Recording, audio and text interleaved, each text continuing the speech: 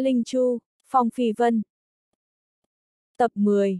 Người suy nghĩ một chút xem, một nữ nhân xinh đẹp thi tình họa ý, ôn nhu thanh nhã, tu vi so với người còn cao hơn lại ngủ cùng với ngươi, mới thử nghĩ cũng đã cảm thấy mỹ diệu rồi. Bốn tên đạo tặc đều là ha ha phá lên cười. Chỉ là lưu thân sinh chưa nói cho bọn hắn biết, năm ngoái hắn mang theo một vạn mai kim tệ đến đây đấu giá, cũng chỉ có thể nhìn thấy mặt của vị mỹ nhân bài danh thứ 10 kia một cái, ngay cả cơ hội uống rượu với nàng đều không có. Rất nhanh Quy Nô kia liền dẫn 9 nữ tử trẻ tuổi dung mạo xinh đẹp tiến vào nhã gian, mỗi người đều là mỹ nhân 16, 17 tuổi, lại càng là ngàn dặm mới tìm được một người, thấy đến ánh mắt của bốn tên đạo tặc nhất thời nhìn thẳng. Vốn là vương mãnh còn đang nổi giận, nhưng mà sau khi một thiếu nữ tên là dai dai tựa vào trong ngực hắn, hỏa khí toàn thân hắn đều liền thu hồi vào trong thân thể, giống như là bị nước dập tắt, toàn thân xương cốt đều mềm ra rồi. Bốn thiếu nữ ở trong đó ôm cổ cầm, tỷ bà, ngọc địch, động tiêu, ở trong một tầng màn che màu tím nhạt bắt đầu đàn tấu một khúc, thanh âm kia khiến cho người ta suy nghĩ vẩn vơ. Bốn tên đạo tặc đều thích thú, mà tâm của Phong Phi Vân lại không ở chỗ này, nếu không phải là muốn thỏa mãn lòng hiếu kỳ một chút, gặp vị nam cung hồng nhan mà được mọi người tôn sùng là nữ thân kia một lần, hắn sớm đã rời đi nơi đây, đi tìm tả thiên thủ rồi. Cứu quý gia tỉ muội mới là chính sự. Trong thanh lâu này tuyệt đối là địa phương truyền áp tin tức năng nhất, rất nhiều bí ẩn cùng đại sự kiện phát sinh gần đây mà không muốn người biết đều có thể nghe được ở chỗ này.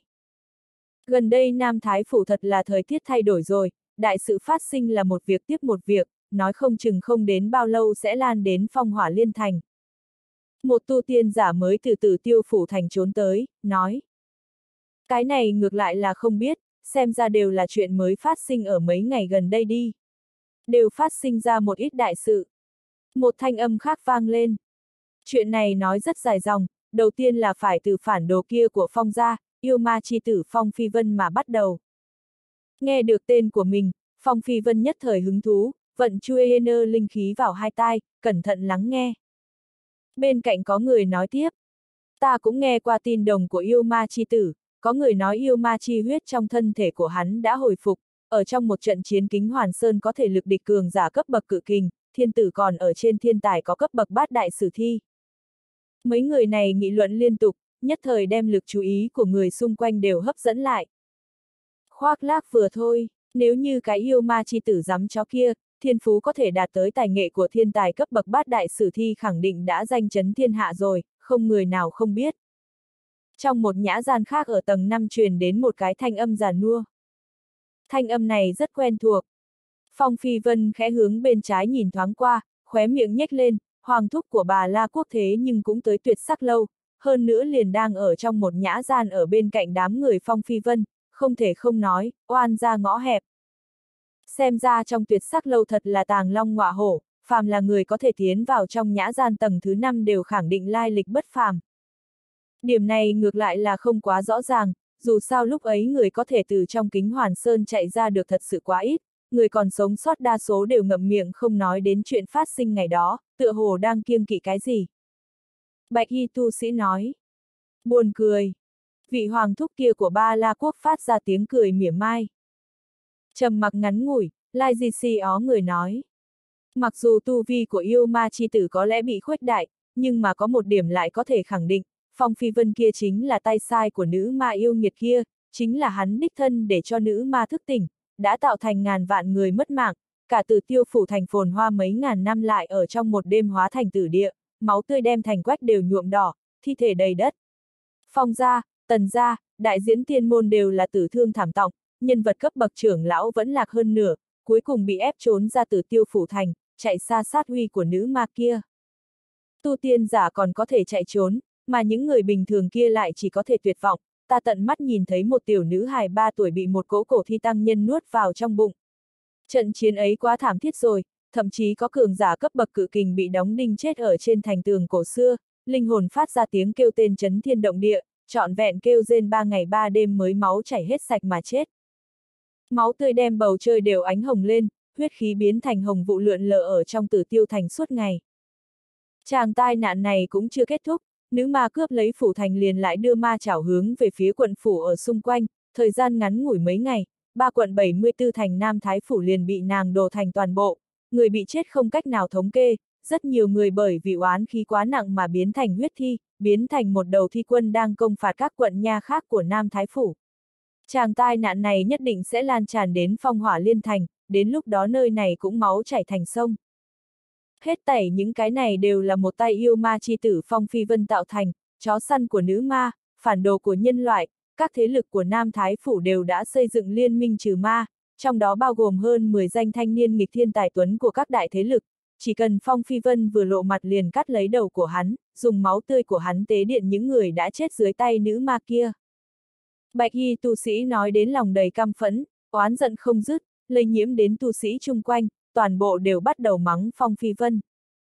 Phi, Phi, thật là nói hưu nói vượn, nữ ma là tự mình thức tỉnh, lại bị một ít tên ngu xuẩn đặt điều lên người Phong Phi Vân. Lại nói cái gì mà trừ ma liên minh kia, liền bằng bọn họ cũng muốn đối phó với Phong Phi Vân. Thật là buồn cười, một ngón tay của Phong Phi Vân đủ để giết chết toàn bộ bọn họ. Lại có thanh âm như nam như nữ ở trong một tòa nhã gian truyền đến, người này cố ý che giấu thân phận cho nên thay đổi thanh âm. Nhưng mà có thể khẳng định niên kỷ của người này cũng không lớn.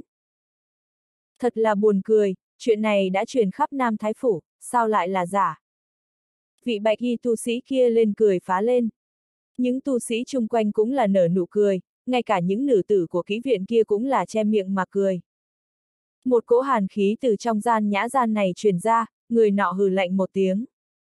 Người lại thử xấu hắn một câu xem nào. Có gì không dám, Phong Phi Vân chính là tay sai của nữ ma, công địch của nhân loại, người người đều được quyền giết, nếu như hắn xuất hiện ở trước mặt ta, ta tất một cước đạp bẹp hắn trên mặt đất. Ha ha! Bạch y tu sĩ kia cười cười đột nhiên bưng kín cổ, có máu tươi từ trong kẽ tay của hắn không ngừng tràn ra, khiến cho cả cánh tay hắn đều bị nhuộm đỏ. Máu chảy xuống từng giọt, rơi trên mặt đất tí tách.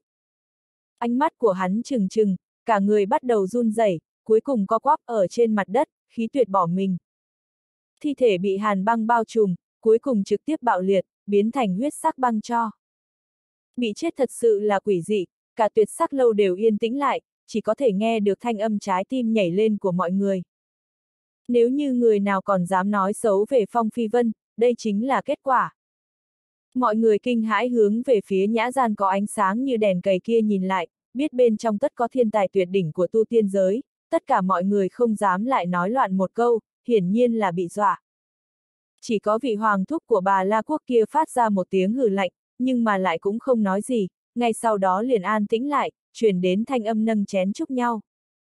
Chân mày của Phong Phi Vân nhíu lại thành chữ xuyên, người mới nói chuyện vừa rồi cũng là đang ở trong nhã gian tầng thứ 5, chính là ở nhã gian đối diện của hắn. Tầng thứ 5 tổng cộng có 6 nhã gian, thành thế vòng tròn. Hiển nhiên người nọ cũng là một vị tu sĩ cảnh giới thần cơ, rốt cuộc sẽ là người phương nào đây? Tất cả mọi người đang chỉ trích hắn, lại còn có người có thể đứng ra nói một câu công đạo cho hắn, thậm chí không tiếc giết người. Hai mắt của Phong Phi Vân nhắm lại, muốn bằng vào linh giác của mình trước đi cảm ứng, nhưng mà lại bị một cỗ lực lượng nhu hòa ngăn lại, cảm giác được cư nhiên là một phiến trống giống, cuối cùng chỉ có thể bỏ qua.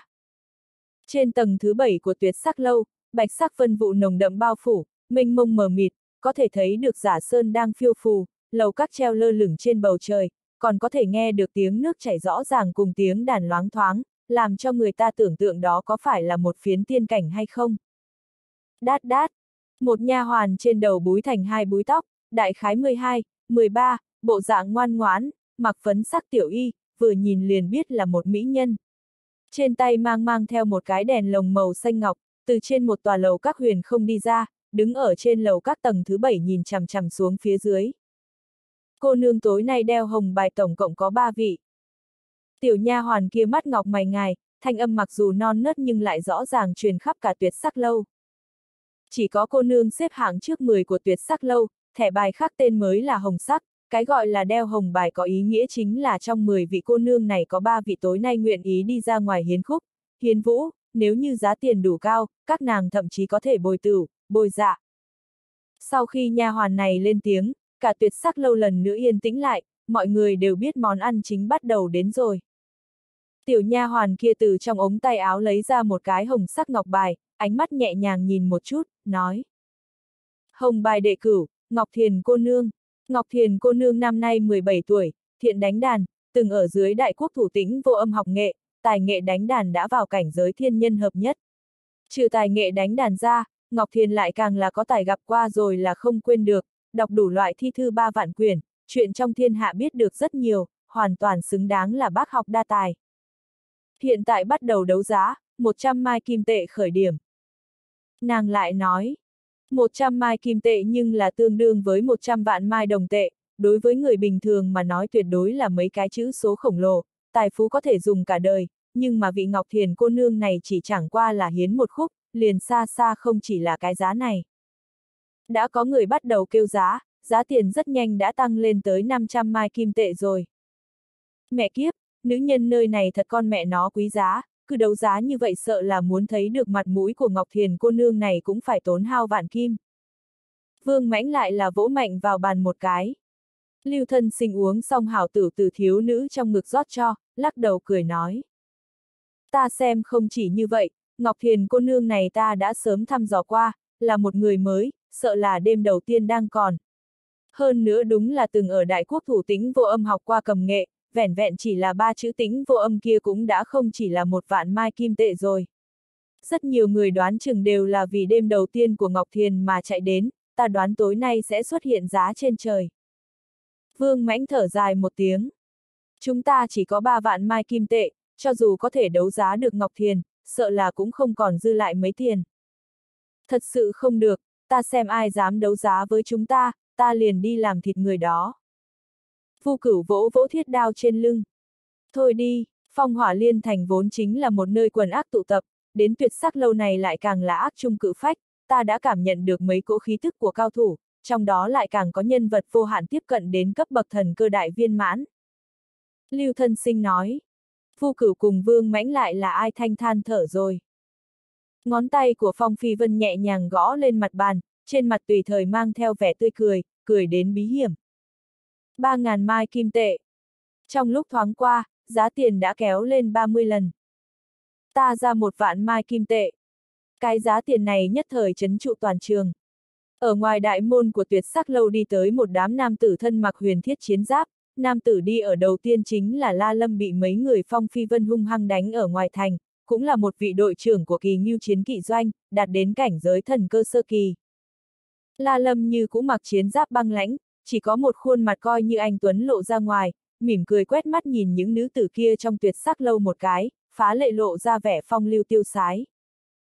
Phái sau hắn cũng có 10 nam tử mặc khôi giáp đi theo, 10 người này ở trên người đều tản ra khí thức khổng lồ, ở đỉnh đầu chiến giáp có một cái quyền đầu to lớn chữ chiến.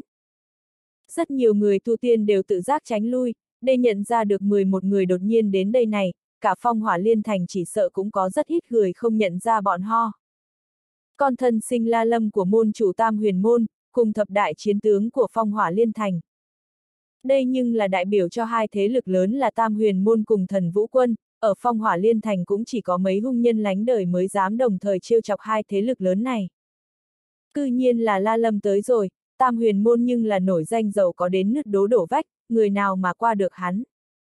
Rất nhiều người cho dù muốn đấu giá cũng phải suy nghĩ có thể đắc tội tam huyền môn cùng thần vũ quân hay không, xem ra tối nay đúng là la thiếu ra một mình ca diễn rồi, chúng ta đều chỉ có thể nhìn, tất cả hồng bài cô nương đều đầu nhập vào ngực của hắn, thậm chí là trên giường. Ở lúc chút ít người tu tiên đều đang lắc đầu thở dài, một cái thanh âm không hài hòa vang lên. Một vạn lẻ một mai kim tệ. Cái thanh âm này chính là ở trong một gian nhã gian tầng thứ năm truyền ra. La Lâm nhướng mày, hai mắt hướng đến tầng thứ năm nhìn lại, mặc dù rất là chán ghét có người dám đè giá của hắn, nhưng mà lại cũng không đem người này để vào trong mắt, mang theo thập đại chiến tướng đi đến trên cầu thang bằng hồng mộc, hướng lên phía trên mà đi, đã có quy nô ở phía trước dẫn đường cho hắn. Một vạn một ngàn mai kim tệ. La Lâm vừa đi ở trên cầu thang, một bên tự tin cất giọng báo giá. Một vạn một ngàn lẻ một mai kim tệ. Vẫn là thanh âm lười biếng ở trong nhã gian kia, hữu khí vô lực. Tất cả mọi người đã nhìn ra, đây là có người đặc biệt gây khó dễ cho La Lâm, nếu không cũng sẽ không ở mỗi lần đều chỉ thêm một mai kim tệ. Người phương nào lại lớn gan như vậy, lại dám khiêu khích con trai độc nhất của tam huyền môn chủ. Người kêu giá tự nhiên không phải là Phong Phi Vân, mà là ở trong nhã gian của Hoàng Thúc bà La Quốc kia, nhưng mà người kêu giá như cũng không phải là Hoàng Thúc của bà La Quốc, mà là một thanh niên nhân. Nguyên lai là hắn, quả nhiên là địa phương có mỹ nhân thì có thân ảnh của hắn. Nghe được thanh âm lười biếng kia, Phong Phi Vân liền đã biết trong nhã gian kia là người phương nào rồi, trên mặt không khỏi nở một nụ cười, nâng một chén rượu chậm rãi uống vào. Một vạn năm ngàn mai kim tệ. Thanh âm của La Lâm đã có chút lạnh lùng, sinh ra lửa giận. Một vạn năm ngàn lẻ một mai kim tệ. Trong nhã gian bên cạnh kia, thanh âm như cũ là rất lười biếng, rất giống như một tên ma ốm tử sắc quá độ, nhưng mà chỉ có Phong Phi Vân biết dược, hắn tuyệt đối không phải là một tên ma ốm. Một trong những thiên tài cấp bậc bát đại sử thi, vương tử của bà La Quốc, nam nhân được gọi là thiên hạ đệ nhất mê nhân, vô hà công tử, tại sao có thể là một tên ma ốm được? Ha ha, xem ra lần này La Lâm đụng phải đinh rồi. Lạc đà tử bật cười. Sắc mặt của lưu thân sinh nghiêm túc, lắc đầu, nói. Nơi này chính là phong hỏa liên thành, mà không phải là ngoài thành, hơn nữa La Lâm mang đến nhưng là thập đại chiến tướng trong thần vũ quân, mà không phải là những phế vật kia của kỳ nghiêu chiến kỵ doanh. Thập đại chiến tướng, từng người đều là cao thủ ở trong trăm trận chiến tranh tìm được đường sống trong chỗ chết, vô luận là tu vi, ý chí, hay là lực chiến đấu đều không phải là tu tiên giả bình thường có thể so được, cũng chính là như vậy mới có thể kinh sợ yêu ma quỷ quái trong phong hỏa liên thành. Nói không sai, nếu như ở ngoài thành, tiểu tử La Lâm kia muốn đánh liền đánh, hoàn toàn có thể trực tiếp bỏ chạy, nhưng mà ở trong phong hỏa liên thành, coi như là tu sĩ thần cơ đại viên mãn sợ rằng cũng trốn không thoát. Đại Nghiêu, chuyện này ngươi thấy như thế nào? Lưu thân sinh hỏi. Trên mặt Phong Phi Vân nở nụ cười nghiền ngẫm, nói. Đợi xem kịch vui đi, lúc cần thiết chúng ta cũng phải thò chân vào, lúc đó mới có ý tứ. Hắc hắc. Audio điện tử võ tấn bền. Trên tầng thứ bảy của tuyệt sắc lâu, mấy tuyệt sắc nữ tử tập trung ở một chỗ, nhìn xuyên qua một tấm lam sắc thủy kính, thấy chuyện phát sinh ở phía dưới, có người vui, có người buồn.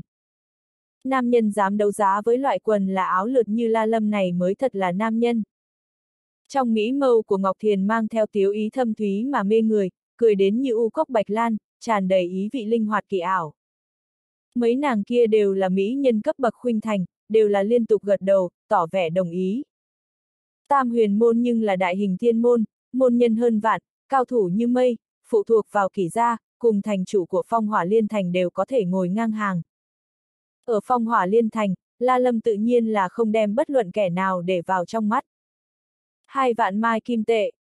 La Lâm đã bước lên tầng thứ năm của tuyệt sắc lâu, huyền thiết chiến ngoa trầm trọng chấn đến thiết mộc ban công vang lên một tiếng thật lớn, hiện lên một tầng xám cho nhàn nhạt. Hai vạn mai kim tệ đã là mấy chữ số khổng lồ rồi, đủ để cho Ngọc Thiền cô nương ủy thân bồi tử.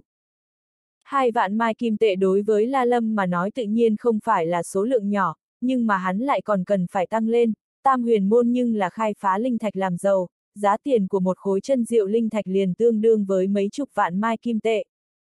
Hai vạn lẻ một mai kim tệ. Thanh âm của vô hà công tử nhàn nhã, không chỉ là không đem hai vạn mai kim tệ để vào trong mắt, thậm chí cũng không để la lâm vào trong mắt. Giờ phút này cả tuyệt sắc lâu đều yên tĩnh lại, rất nhiều người là bị hai vạn mai kim tệ hù sợ, mà có người thì bị khí thức của thập đại chiến tướng ép đến không thể nhúc nhích. Trên mặt Phong Phi Vân như cũ mang theo mỉm cười, đột nhiên dùng ánh mắt báo cho Lưu Thân Sinh biết một chút. Lưu Thân Sinh ngầm hiểu, cười hắc hắc, ra vẻ ho hai tiếng, mở miệng nói. Ngọc Thiền cô nương quốc sắc thiên hương, hai vạn mai kim tệ tựa như mời cô nương đi ra ngoài sướng khúc bồi tử, quả thật là một loại vũ nhục đối với Ngọc Thiền cô nương, chẳng lẽ liền không có người nào dám thêm giá tiền cao hơn sao? Bốn tên đạo tặc này đều là mặt hàng e sợ thiên hạ không loạn, vương mãnh lại là vỗ mạnh vào bàn một cái, hét lớn. Nếu như ta cũng giàu có như la thiếu gia, liền trực tiếp tăng lên đến ba vạn mai kim tệ.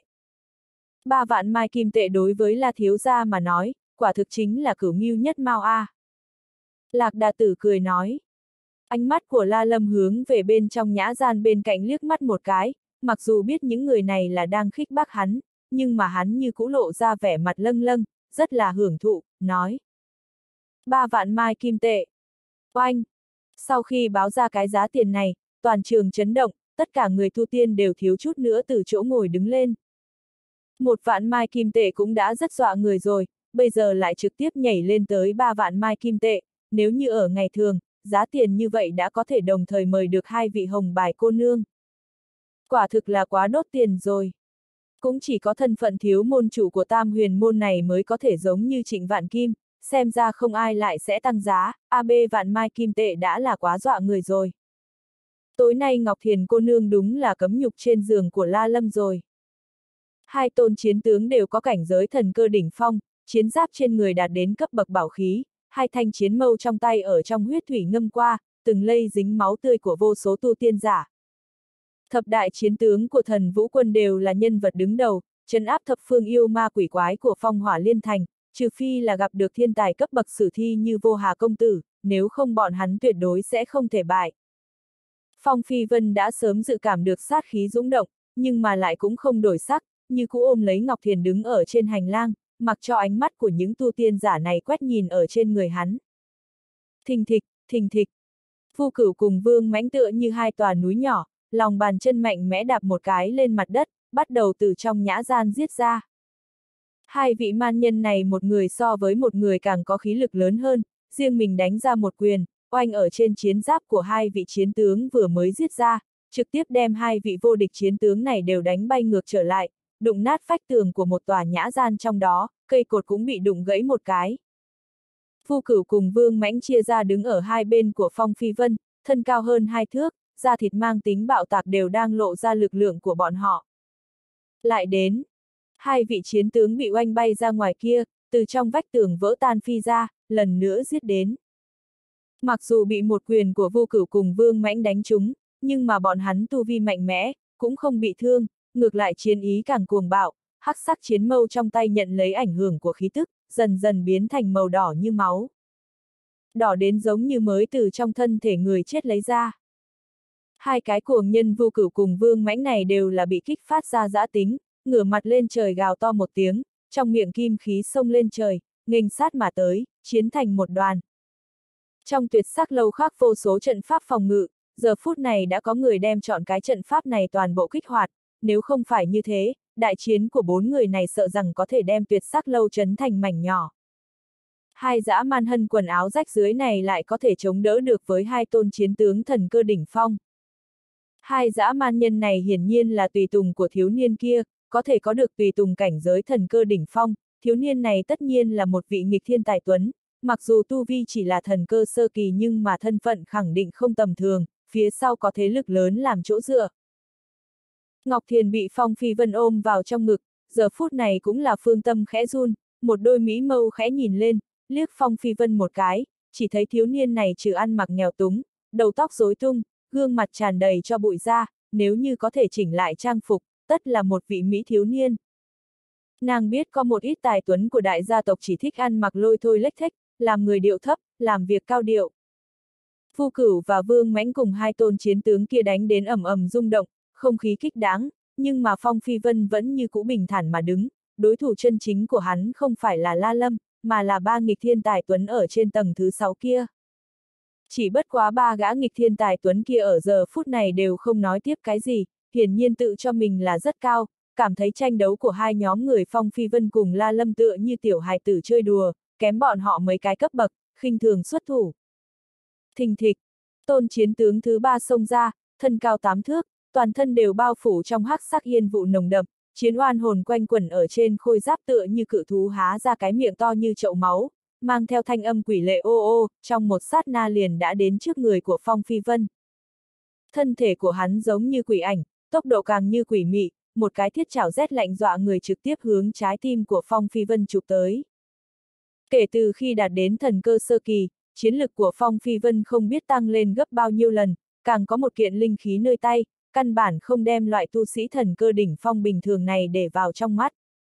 Miểu quỷ ban chỉ ở trên ngón tay cái của Phong Phi Vân chuyển động, vô số linh khí từ ngón tay cái xoay tròn tới cánh tay, sau đó bao phủ toàn thân Phong Phi Vân, cuối cùng xông thẳng lên đỉnh đầu, hóa thành một cái thủ trưởng ấn khổng lồ đen nhánh. Oanh! Một đạo trưởng ấn này từ trên trời giáng xuống, oanh ở trên đầu vị thần tướng kia, trực tiếp đánh hắn từ trên tầng 5 xuống tầng thứ nhất. Đụng nát lầu gỗ 4 tầng, ngay cả trận pháp cũng không các nào ngăn cản một cỗ xung lượng cường đại này. Từ đầu tới cuối Phong Phi Vân đều không nhúc nhích một chút, lộ ra vẻ hết sức phong khinh vân đạm, thực sự để cho tất cả mọi người thấy đến trợn mắt há hốc mồm. Ngay cả ba gã nghịch thiên tài tuấn trên tầng thứ sáu cũng phát ra một tiếng kêu nhẹ nhàng nhạt. Có một chút ý tứ. Ngọc Thiền cũng là Mỹ mâu lăn tăn, làn da tuyết sinh ra ánh sáng, mặc dù bị phong phi vân chế trụ, cả người đều không thể nhúc nhích, nhưng mà nàng lại có thể cảm giác Dodojishi mới vừa rồi trên thân thể của Phong Phi Vân có một cỗ lực lượng mạnh mẽ trí cực đang vận chuyển, cỗ lực lượng này khiến cho nàng có cảm giác hít thở không thông, có một loại cảm giác cả người đều bị mạnh mẽ chinh phục. Phốc! Vị chiến tướng kia rơi xuống mặt đất tầng thứ nhất, đạp vỡ trận văn, đem mặt đất đều dẫm ta nếp hát ba đạo nứt vỡ, trong miệng lại càng phun ra một ngụm máu tươi, nếu không phải có lực ý chí siêu cường mà hàng năm chinh chiến tích lũy xuống, nói không chừng giờ phút này hắn đã ngã xuống đất không dậy nổi rồi. Lại chiến! Một tôn chiến tướng này không phục, lau khô máu tươi nơi khóe miệng, song quyền nắm lại, huyết dịch sôi trào trùng thiên mà lên. Một khi đã muốn chiến, liền quyết không thể bại. Thập đại chiến tướng đều có ngạo khí của riêng mình, tuyệt không cho phép ở trong chiến đấu thua đối thủ cùng cảnh giới, huống chi đối phương vẫn còn thấp hơn hắn hai tiểu cảnh giới, nếu như thật sự thua, đó quả thật là vĩnh viễn cũng đừng nghĩ ngẩng đầu lên gặp người. Ngươi không phải là đối thủ của ta, tái chiến chính là chết. Phong Phi Vân mặc dù bội phục hạng người bách chiến không chịu thua này, nhưng mà nếu như hắn không chém giết đối thủ, như vậy đối thủ tất sẽ giết hắn, không còn lựa chọn nào khác. Bách kiếp phần thân, huyết dịch sôi trào. Một tôn chiến tướng này đem huyết dịch toàn thân đều thiêu đốt, trong khe hở của khôi giáp lao ra hỏa diễm ngập trời, hắc sắc yên vụ cùng với hảo diễm pha trộn chung một chỗ, để cho hắn lộ ra vẻ càng thêm kinh khủng. Vì lấy mạng của Phong Phi Vân, bảo vệ tôn nghiêm bất bại của chiến tướng, hắn thế nhưng thiêu đốt huyết dịch trong thân thể, kích thích tiềm năng sinh mệnh. Sắc mặt của Phong Phi Vân cũng trở nên ngưng trọng, cấm thuật thiêu đốt huyết dịch hắn cũng biết, nhưng mà ở lúc chưa gặp tử địa tuyệt đối, hắn tuyệt đối sẽ không sử dụng một chiêu này, một chiêu này thật sự quá tiêu hao tiềm chất cùng sinh mệnh lực của một người. Trên thực tế kiếp trước của Phong Phi Vân nhưng là tộc trưởng của Phượng Hoàng yêu tộc, công pháp nghịch thiên biết được có mấy ngàn loạt, nhưng cũng không phải là hiện tại hắn có thể tu luyện, phải đợi đến cảnh giới thiên mệnh đệ nhất trọng mới có thể tu luyện được yêu giới đại thần thông của Phượng Hoàng tộc.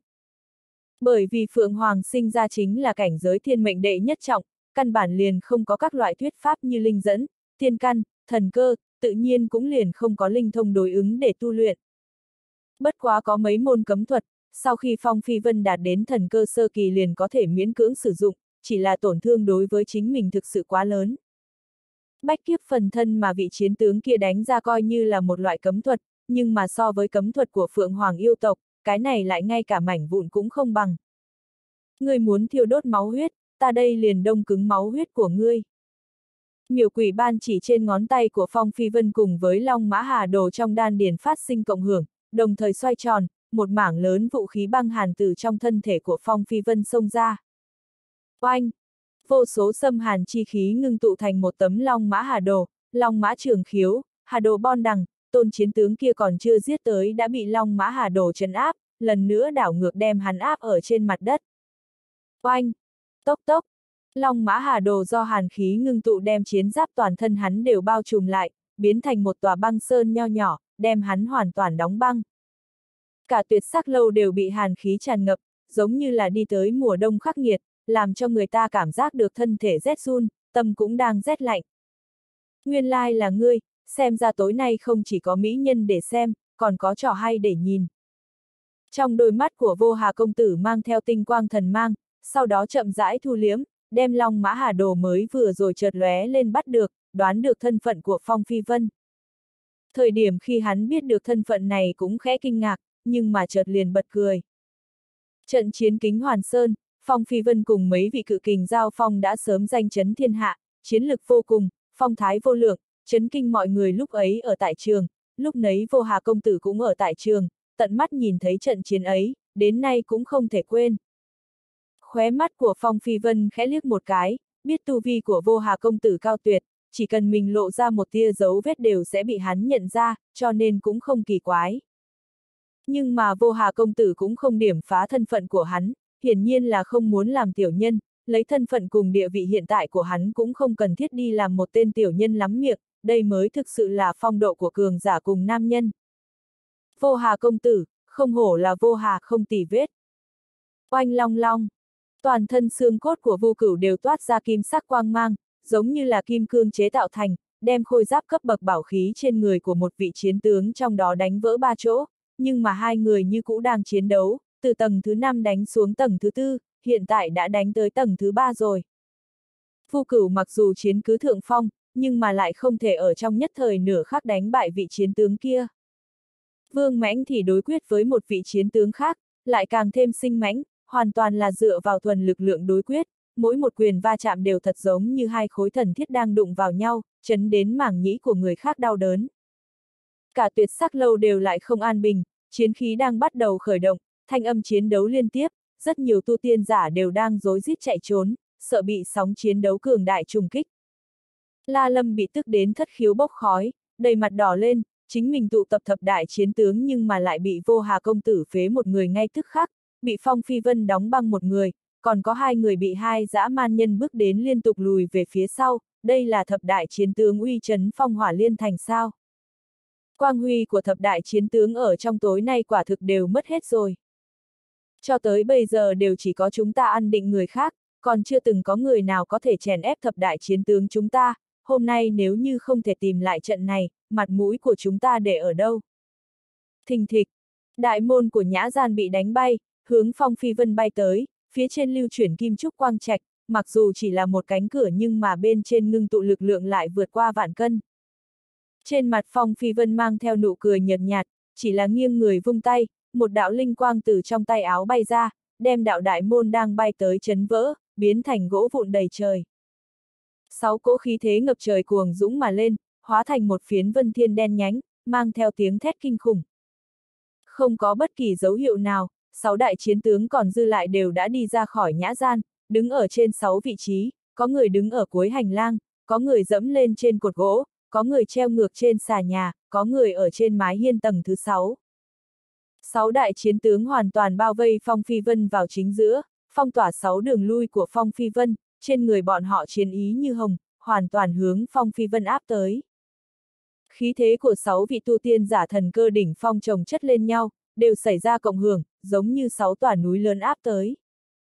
Ngay cả những người không ở trong vòng chiến kia đều cảm giác được trên đầu như có ngàn cân, bộ ngực trầm muộn đến không cách nào hô hấp, mà Phong Phi Vân thân ở trong vòng chiến của sáu người thừa nhận lực lượng là kinh khủng cỡ nào liền có thể nghĩ được. Coi như là nghịch thiên tài tuấn thần cơ sơ kỳ cũng phải bị áp tới chết. Phong Phi Vân mặc dù nhàn nhạt mà cười như cũ, nhưng mà lại đã không nhẹ nhàng như vậy, Long Mã Hà đồ từ trong đan điền bay ra, huyền phù ở trên đỉnh đầu hắn, đem thân thể của hắn cùng Ngọc Thiền bao phủ, giống như một cái lồng vô hình đang chống đỡ với uy áp của sáu vị cường giả thần cơ đỉnh phong. Thân thể của Phong Phi Vân cường đại, huyết dịch kiên cố, quang hao linh tính lưu động, căn bản không sợ hãi áp lực của sáu đại chiến tướng, nhưng mà Ngọc Thiền ở trong lồng ngực hắn lại không cách nào chống đỡ được với lực lượng mạnh mẽ như vậy, mặc dù không lên tiếng nhưng mà sắc mặt đã tái nhợt, thân thể mềm mại khẽ run rẩy. Mặc dù nàng cũng có tu vi thần cơ sơ kỳ nhưng thực lực chân chính lại tranh lệch Phong Phi Vân không chỉ gấp 10 lần. Nếu muốn tìm chết, ta đây sẽ tiến các ngươi đến Tây Thiên. Trong nghi vũ của Phong Phi Vân sinh ra vẻ tàn nhẫn, từ trong lồng ngực lấy ra một cái hộp ngọc, mở hộp ngọc ra, bên trong chợt lao ra một luồng khấp lê chi khí, lực hủ thực cường đại không hiểu. Trong này chứa chính là thi độc, chính là ngày đó sau khi ở trong thương sinh động phủ giúp Đông Phương Kính Nguyệt liệu thương, Phong Phi Vân len lén thu thập được. Thi độc này xuất ra từ cổ thi tăng nhân, có thể đem cao thủ như Đông Phương Kính Nguyệt đều thiếu chút nữa độc chết, tuyệt đối là độc dược thuộc về đỉnh phong. Vốn là Phong Phi Vân định dùng nó để đối phó với địch thủ có cấp bậc thần cơ đại viên mãn, nhưng mà sáu đại chiến tướng khí thế hung hung, khiến cho hắn phải nhịn đau hạ sát thủ, đem hộp thi độc này dùng tới cho bọn họ rồi. Thình thịch, Phong Phi Vân một trưởng đánh lên trên hộp ngọc, thi độc bên trong chợt vẩy ra, biến thành một phiến tử vụ, sau đó phá tan uy áp của sáu đại chiến tướng, trực tiếp vẩy lên trên thân sáu người. Trong đó có một chút thi độc vẩy ra ngoài, rơi xuống lầu các tràn đầy trận pháp, trong nháy mắt đã đim hủ pháp hủ thực thành khói xanh, ban công cũng bị đốt, toát ra thi hỏa. Đây chính là chỗ đáng sợ của cổ thi thi độc sau lần thi biến thứ hai. Trên tầng thứ bảy, một đạo hồng sắc ảnh từ từ trong tuyệt sắc lâu bay lướt một vòng, nhất thời dập tắt tất cả thi hỏa, tốc độ của nàng quả thực nhanh đến biến thái, ngay cả Phong Phi Vân cũng chỉ có thể thấy được một cái tàn ảnh, biết nàng là một nữ tử mà thôi, thậm chí cũng không thấy rõ nàng mặc y phục có chất liệu gì. Mà những tu sĩ khác, rất nhiều người căn bản đều không nhìn thấy nàng bay qua bên cạnh chính mình, chỉ cảm thấy có một làn gió nhẹ thổi qua mà thôi. Lợi A-hi. Hai mắt của vô hà công tử sinh huy, cười nói một câu. Đa tạ tán thưởng. Một đạo hồng sắc ảnh tử lại biến mất vào bên trong vân yên của tầng thứ bảy, phát ra một thanh âm quyến rũ mê người, ẩn chứa tiếng cười câu hồn. Thi hỏa trong cả tuyệt sắc lâu đều bị nàng dập tắt trong nháy mắt, chỉ có trên người sáu vị chiến tướng kia lại là khói đặc cuồn cuộn, thì độc đem khôi giáp trên thân thể bọn họ đều hủ thực xuyên thấu, xâm nhập vào trong cốt nhục của bọn họ. Độc thật cường đại, mọi người chấn vỡ khôi giáp, quyết không thể bị thi độc dính vào một tia. Ta cảm giác cả người thật nóng, thân thể tựa hồ thiêu đốt. Cứu mạng A! Một vị chiến tướng đột nhiên kêu thảm tê tâm liệt phế, hắn bị một giọt thi độc dính vào da, thi hỏa hừng hực từ chỗ da thịt bắt đầu thiêu đốt, cả người hắn đều giống như cây đuốc bị ngọn lửa bao phủ. Bùm bùm cách cách, tiếng kêu thảm thiết không dứt, trong khôi giáp hỏa diễm trùng thiên, thi khí cùng độc khí bao phủ hắn lại, mặc cho hắn có dãy dụa chống cự như thế nào cuối cùng lại không cách nào chạy trốn ra khỏi thảm cục bị thi hỏa phần thân. Tiếng kêu thảm thiết trở nên càng ngày càng nhỏ, cuối cùng chỉ còn lại thanh âm hỏa diễm đang thiêu đốt. Phanh, phanh. Một vị tu tiên giả thần cơ đỉnh phong liền như vậy bị đốt thành xám cho, khôi giáp cấp bậc bảo khí cũng bị hỏa táng, biến thành mảnh nhỏ mang theo hỏa diễm rơi xuống mặt đất. Hỏa diễm cũng không có dập tắt, như cũ đang thiêu đốt. Phu cửu cùng vương mãnh đều dừng chiến đấu, tu tiên giả khác lại càng trợn mắt há hốc mồm, e ngại nhìn chằm chằm vào phong phi vân giống như đang nhìn một tôn tà ma, quả thực so sánh với độc xà mãnh thú còn phải đáng sợ hơn.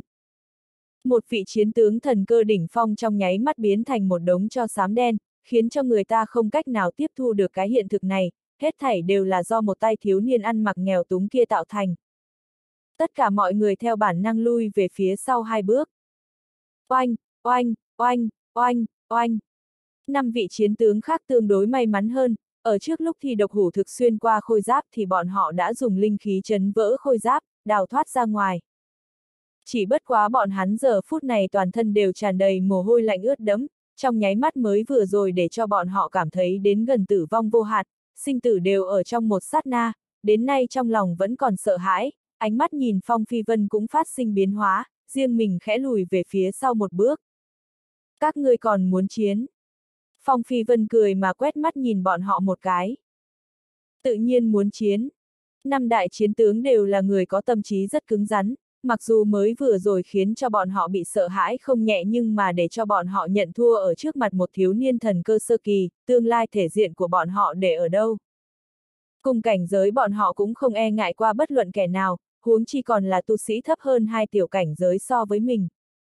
Năm đại chiến tướng đứng ở phái xa, trong lòng bàn tay đồng thời ngưng tụ linh mang, đánh ra phiến lớn ô quang, biến thành kỳ nghiêu chi ảnh rầm rộ. Một người đánh ra năm đầu kỳ nghiêu, tương đương với lực lượng 16 vạn cân. Năm người liên thủ chính là 25 đầu kỳ nghiêu chi lực, tương đương với lực lượng 80 vạn cân. 25 đầu kỳ nghiêu hư ảnh khổng lồ tựa như thiên quân vạn mã hướng phong phi vân phô thiên cái địa áp tới, người ở trước mặt kỳ nghiêu lộ ra vẻ vô cùng nhỏ bé, huống chi còn là 25 đầu kỳ nghiêu. Đây mới là thực lực chân chính là năm đại chiến tướng, rất nhiều người đều bắt đầu chạy chối chết, cảm giác được trận pháp của tuyệt sắc lâu đều sắp bị kỳ nghiêu chi khí đạp vỡ, cả tòa thanh lâu cao 7 tầng liền muốn sụp đổ. Phong phi vân tựa như một phiến lá ây thừa nhận cuồng phong bạo vũ tẩy lễ, tùy thời đều sẽ bị mưa gió xé nát, mặc dù là như thế nhưng mà vẻ mặt lại lạnh nhạt, cũng không đổi sắc. Quá không cấp mặt mũi cho ta, nếu như thần tài của ta bị thương, các người người nào chịu trách nhiệm đây? Một đạo thanh âm yêu mị mệt mỏi vang lên, giống như là đang làm núng. Không có bất kỳ người nào nhìn thấy bóng dáng của nàng. Nhưng mà có một nữ tử xinh đẹp mặc hồng sắc la sa y liền đứng ở trước mặt của Phong Phi Vân, nửa thân trên để vai trần, mùi thơm cơ thể mê người, tóc xanh như thác nước. Lan da của nàng trắng như bạch ngọc, lưu động nhuận hoa mê người, một cánh tay ngọc tinh tế mà mềm mại chậm rãi đưa ra ngoài, một cái tay này quả thật mềm mại đến cực hạn.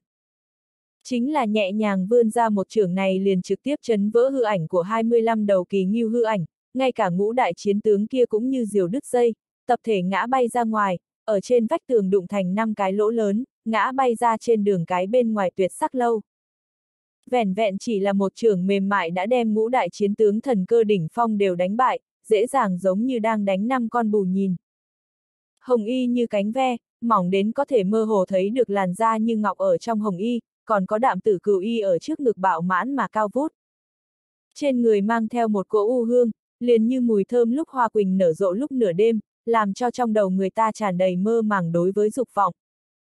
Huyết phú lộ nửa vai, xương trước vai trơn bóng giống như bạch ngọc, đường cong vẽ ra mê người, toàn bộ đều triển lộ ở trước mắt của Phong Phi Vân, một đôi mị nhãn như tơ nhưng mà lại không thấp kém giống như nữ tử mại lộng phong tình bình thường, ngược lại làm cho người ta có một loại cảm giác cao nhã. Một loại cảm giác tiên nữ thoát y, thánh nữ cầu ái. Nàng liền chỉ là đứng ở chỗ đó cũng đã để cho rất nhiều tu tiên giả dục hỏa phần thân, nếu không phải mới vừa rồi tận mắt nhìn thấy tu vi kinh khủng của nàng, sợ rằng đã có ngoan nhân hung ác đánh tới, đem nàng ôm vào ngực điên cuồng mà hôn, vuốt ve. Mấu chốt là ai dám? Một trường nhẹ nhàng đánh bay cả năm đại chiến tướng, đây ít nhất cũng là cảnh giới thần cơ đại viên mãn, thậm chí đã đột phá đến cảnh giới thiên mệnh đệ nhất trọng. Cả tuyệt sắc lâu, người có thực lực ở trên lực lượng chinh phục được nàng chỉ sợ cũng chỉ có vô hà công tử. Nhưng mà vô hà công tử lại là một người cần phong độ, tự nhiên là hoàn mỹ vô khuyết, chính là thiên hạ đệ nhất đa tình chủng tử, tự nhiên không thể nào làm ra loại người thấp kém này, cho dù muốn nhận được huyết vũ, hắn cũng sẽ dùng thực lực tuyệt đối chinh phục nàng, hoặc là dùng mị lực tuyệt đối để cho nàng ngoan ngoãn trầm phù ở trong ngực của mình. Phu cửu cùng vương mãnh vội chạy tới, hai đại hán này một bên nhìn chằm chằm vào huyết vũ, một bên lau máu ở trên mũi, thực sự là để cho huyết vũ cười đến xinh đẹp, cười đến diêu phong bãi liễu, thật quá mê người. Nàng không cười còn tốt, một khi cười lên quả thật có thể muốn mạng người, có bảy, tám tu sĩ trong tuyệt sắc lâu đều trực tiếp bị ngất đi, thiếu chút nữa bị nàng mê chết. Máu nơi đầu mũi của vô cửu cùng vương mãnh chảy ra càng thêm hung mãnh. Phong phi vân cách nàng gần nhất, thậm chí có thể ngửi thấy mùi thơm cơ thể từ trên thân thể nàng tản mát ra, nếu như là tu tiên giả khác đứng ở vị trí này của hắn sợ rằng cũng đã không cách nào kiềm chế được, làm ra một chút chuyện xấu hổ rồi. Nhưng mà tâm trí của Phong Phi Vân là kiên định bậc nào, vẫn như cũ lộ ra vẻ lạnh nhạt, cười nói. Huyết phú cô nương quả nhiên không hổ là yêu cơ của nhân gian, nếu như ngươi lại chiêu chọc hai bằng hữu của ta như vậy, ta cũng không dám đảm bảo bọn họ sẽ trực tiếp nhào đầu về phía ngươi đâu. Không đưa tiền mà đã muốn nhào lên người của ta, nam nhân như vậy từng có, bất quá hiện tại đều đã thành người chết rồi. Huyết Phũ như cũng mang theo nụ cười mê người, ngón tay ngọc nhẹ nhàng che môi son óng ánh, mị thái không giảm chút nào. Bộ ngực to lớn mà đầy đặn bởi vì tiếng cười của nàng mà theo đó phập phồng, quả thực ba đào mãnh liệt, người xem đến hoa mắt mê loạn, hận không thể đem hai cái tiểu bạch thỏ vượt quá mức kia nắm lấy, nắm ở trong lòng bàn tay hảo hảo vuốt ve một phen. Mà eo ngọc của nàng lại đặc biệt nhỏ, có lồi có lõm, dáng người còn bùng nổ hơn tất cả những nữ tử mà trước kia Phong Phi Vân gặp qua, hơn nữa ngọc thể mị hoặc ngàn vạn kia lại càng câu động tà hỏa của người khác. Phong Phi Vân không lại hoài nghi nàng có thể đem người mê chết. Sau khi vô cửu cùng vương mãnh nghe được lời của nàng, trong nháy mắt dùng mình một cái, thanh tỉnh lại, trong lòng đều là chấn động mạnh, vội vàng kéo ra khoảng cách với yêu cơ này, từng bước lui vào trong nhã gian. Quá dọa người rồi, nếu như mới vừa rồi nàng ra tay giết người, đạo tặc tung hoành thiên hạ như bọn họ nhất định ngay cả sức hoàn thủ cũng không có. Vậy nếu như trả tiền, chẳng phải là có thể nhào lên trên người của ngươi sao? Một tay của Phong Phi Vân vuốt ve trên khuôn mặt thủy nhuận của Ngọc Thiền, nhưng mà lại bắt đầu trêu chọc huyết vũ. Ở trong lòng rất nhiều người đều đang thầm mắng Phong Phi Vân lòng tham không đáy. Trong lòng huyết vũ cũng bắt đầu một lần nữa nhìn kỹ thiếu niên trước mắt này, lại có thể ở trước mặt của mình thong dong vấn đáp như thế, nàng còn là lần đầu tiên gặp phải nam nhân có tâm trí kiên định như vậy. Căn bản là không giống như một thiếu niên trẻ tuổi khí thịnh, càng giống với một lão nhân có tu vi tâm cảnh cao thâm. Ngươi cũng thật xấu, đều đã ôm được Ngọc Thiền muội muội, cư nhiên còn nghĩ tới nhân gia, một mình ngươi ứng phó được sao? Huyết Phú cố ý trêu chọc Phong Phi Vân. Con người của ta luôn luôn đều rất tham lam, thấy được mỹ nhân. Liền một người cũng không muốn bỏ qua. Vô Hà công tử, người nói chúng ta có phải là có chút tương tự hay không? Phong Phi Vân mở miệng hỏi. Trên mặt vô hà công tử mang theo nụ cười, ngón tay vuốt một cái tử kim trạc tử ở trên cổ tay, thản nhiên nói. Nam nhân nhìn thấy mỹ nhân nên là lòng tham một chút, mặc dù mỹ nhân luôn là mắng chửi loại nam nhân này nhưng mà cuối cùng trong xương cốt các nàng lại thích nam nhân như vậy. Lời lẽ chí lý, vô hà công tử quả nhiên là hoa tùng tiền bói. Một người đàn ông nếu không phải đủ xấu xa, không đủ tham, đúng là sẽ không được nữ hài tử thích. Phong Phi Vân cười nói. Người cũng là hoa tùng tinh anh. Vô hà công tử lại nghĩ tới tuyệt thế ngọc dung của Đông Phương Kính Nguyệt, cho nên mới nói ra một câu mới vừa rồi, nhưng mà ngay sau đó lời nói hắn xoay chuyển, lại nói. Bất quá thời điểm ta vừa mới tới tuyệt sắc lâu, gặp được một vị người quen của ngươi, tối nay nếu như ngươi quá tham lam sợ rằng nàng sẽ rất không cao hứng, hậu quả sẽ rất nghiêm trọng, ngươi nên nghĩ lại a. À. Nam nhân có thể tham, nhưng mà lại nhất định phải có lực lượng để tham, kiêng kỵ nhất chính là chết ở trong tay nữ nhân của chính mình. Loại nam nhân như chúng ta đối với nữ nhân có lòng tham rất nhiều người cuối cùng đều sẽ rơi vào kết cục như vậy. Hắc hắc, vô hà công tử ở trong lúc vô tình trò trúng chỗ đau của Phong Phi Vân. Phong Phi Vân hơi trầm mặc, ánh mắt ở trong từng cái nhã gian quét nhìn, vị người quen kia rốt cuộc là người nào, chẳng lẽ là tử bà nương Đông Phương Kính Nguyệt kia, không đúng, nếu như nàng tới phong hỏa liên thành, trịnh Đông Lưu khẳng định đã nói với chính mình rồi. Vậy còn lại là ai? Phong Phi Vân nằm mơ cũng sẽ không nghĩ tới, Nạp Lan Tuyết Tiên cùng tử nhục hòa thượng ẩn thân ở tuyệt sắc lâu, chỉ bất quá Nạp Lan Tuyết Tiên giờ phút này cũng không nhận ra Phong Phi Vân, dù sao nàng không có từ trong nhã gian đi ra, Phong Phi Vân cũng thay đổi thanh âm. Bằng không lấy tính cách của Nạp Lan Tuyết Tiên, thấy Phong Phi Vân ôm Ngọc Thiền khanh khanh ta ta, lại cùng huyết vũ câu kết làm bậy, chỉ sợ sớm đã nổi đóa rồi. Phong Phi Vân cũng sẽ không cười thong dong giống như hiện tại. Đã ta vô hà công tử báo cho, những lời này ta sẽ khắc sâu nhớ kỹ, nhưng mà tối nay vô luận là người nào ở tuyệt sắc lâu cũng không ngăn được tâm tầm hoa vấn liễu của ta, nam nhân ở trong phong nguyệt tràng cuối cùng là nên có can đảm lớn một chút, nếu không mỹ nhân sẽ thất vọng, đúng không huyết phú cô nương. Phong Phi Vân lộ ra một ngón tay, muốn vuốt ve cằm của huyết phú, nhưng mà lại chạm đến khoảng không. Huyết phú chẳng biết lúc nào đã đứng ở địa phương cách xa hơn ba trượng, cười nói. Không đưa tiền thì chứa đụng chạm lung tung nha, ta sẽ giết người đấy. Phong Phi Vân thu tay về, sau đó đột nhiên xoay người nói. Ta đã kêu giá 20 vạn kim tệ rồi, chẳng lẽ liền không có người tăng giá, nếu như không có người tăng giá, huyết phú cô nương tối nay nhưng là thuộc về ta. Cả tuyệt sắc lâu đều yên tĩnh lại. La Lâm cũng đã sớm bị hù dọa đến ngồi phịch ở trong nhã gian rồi, làm sao còn dám tăng giá. Mà vô hà công tử hiển nhiên là vì Nam Cung Hồng Nhan mà đến, ở trước lúc chưa thử dò xét ra thực lực chân chính của Phong Phi Vân, cũng không muốn tranh đấu với hắn, dù sao một trận chiến ở kính Hoàn Sơn đối với hắn còn có chấn nhiếp rất lớn. Mà những người khác bị tu vi cường đại của huyết phũ chấn trụ, nữ nhân có tu vi cường đại như thế mà lại phong tao vô cùng, không có một chút tự tien căn bản không thể nào khống chế được nàng. Hiện tại duy nhất có thể đấu giá với Phong Phi Vân liền chỉ có ba nghịch thiên tài tuấn kia ở tầng thứ 6, nhưng mà ba người này lại cũng không có mở miệng nói chuyện, hiển nhiên cũng không có ý định tăng giá. Thật lâu đều không có ai lên tiếng. Ha ha, xem ra tối nay ngươi cùng Ngọc Thiền muội muội đều phải hầu hạ một mình ta rồi. Phong Phi Vân vươn ra một cái tay khác ôm lấy eo của huyết vũ, lần này nàng lại không né tránh nữa, ngược lại còn chủ động dán ở trên người Phong Phi Vân, hết sức dính người. Ha ha, vậy thì xem ngươi có thể thỏa mãn ta hay không? Huyết Phú ôn nhu nói nhỏ ở bên tai của Phong Phi Vân, thổ ra hương khí ôn nhu, trực tiếp đem gương mặt tuyệt mỹ khuynh thành tựa lên trên vai của Phong Phi Vân. Một tay ôm Ngọc Thiền, một tay ôm huyết vũ một người đa tài văn nhã, một người xinh đẹp gợi cảm, đều là cực phẩm nhân gian, có thể ôm một người chóp đó đều là vui mừng vô cùng, huống chi cả hai đều bị hắn ôm vào trong ngực. Quả thực là hâm mộ chết một đám người. Cửa của nhã gian lần nữa bị đóng lại, bên trong truyền đến tiếng cười câu hồn của huyết vũ, còn có tiếng đàn tuyệt vời của Ngọc Thiền, để cho người ở phía ngoài đều đang tưởng tượng rốt cuộc là phát sinh phong lưu vận sự hương diễm bậc nào. Yêu cơ huyết vũ này tuyệt đối không phải là một nữ nhân quy củ, nói không chừng phong phi vân đều đã bị nàng làm ngược lại rồi. Hừ, nghịch thiên tài tuấn của trừ ma liên minh chúng ta đối với kỹ nữ một chút hứng thú cũng không có, trừ phi là kỹ nữ cấp bậc như Nam Cung Hồng Nhan còn không sai biệt lắm, có lẽ chúng ta sẽ có chút hứng thú.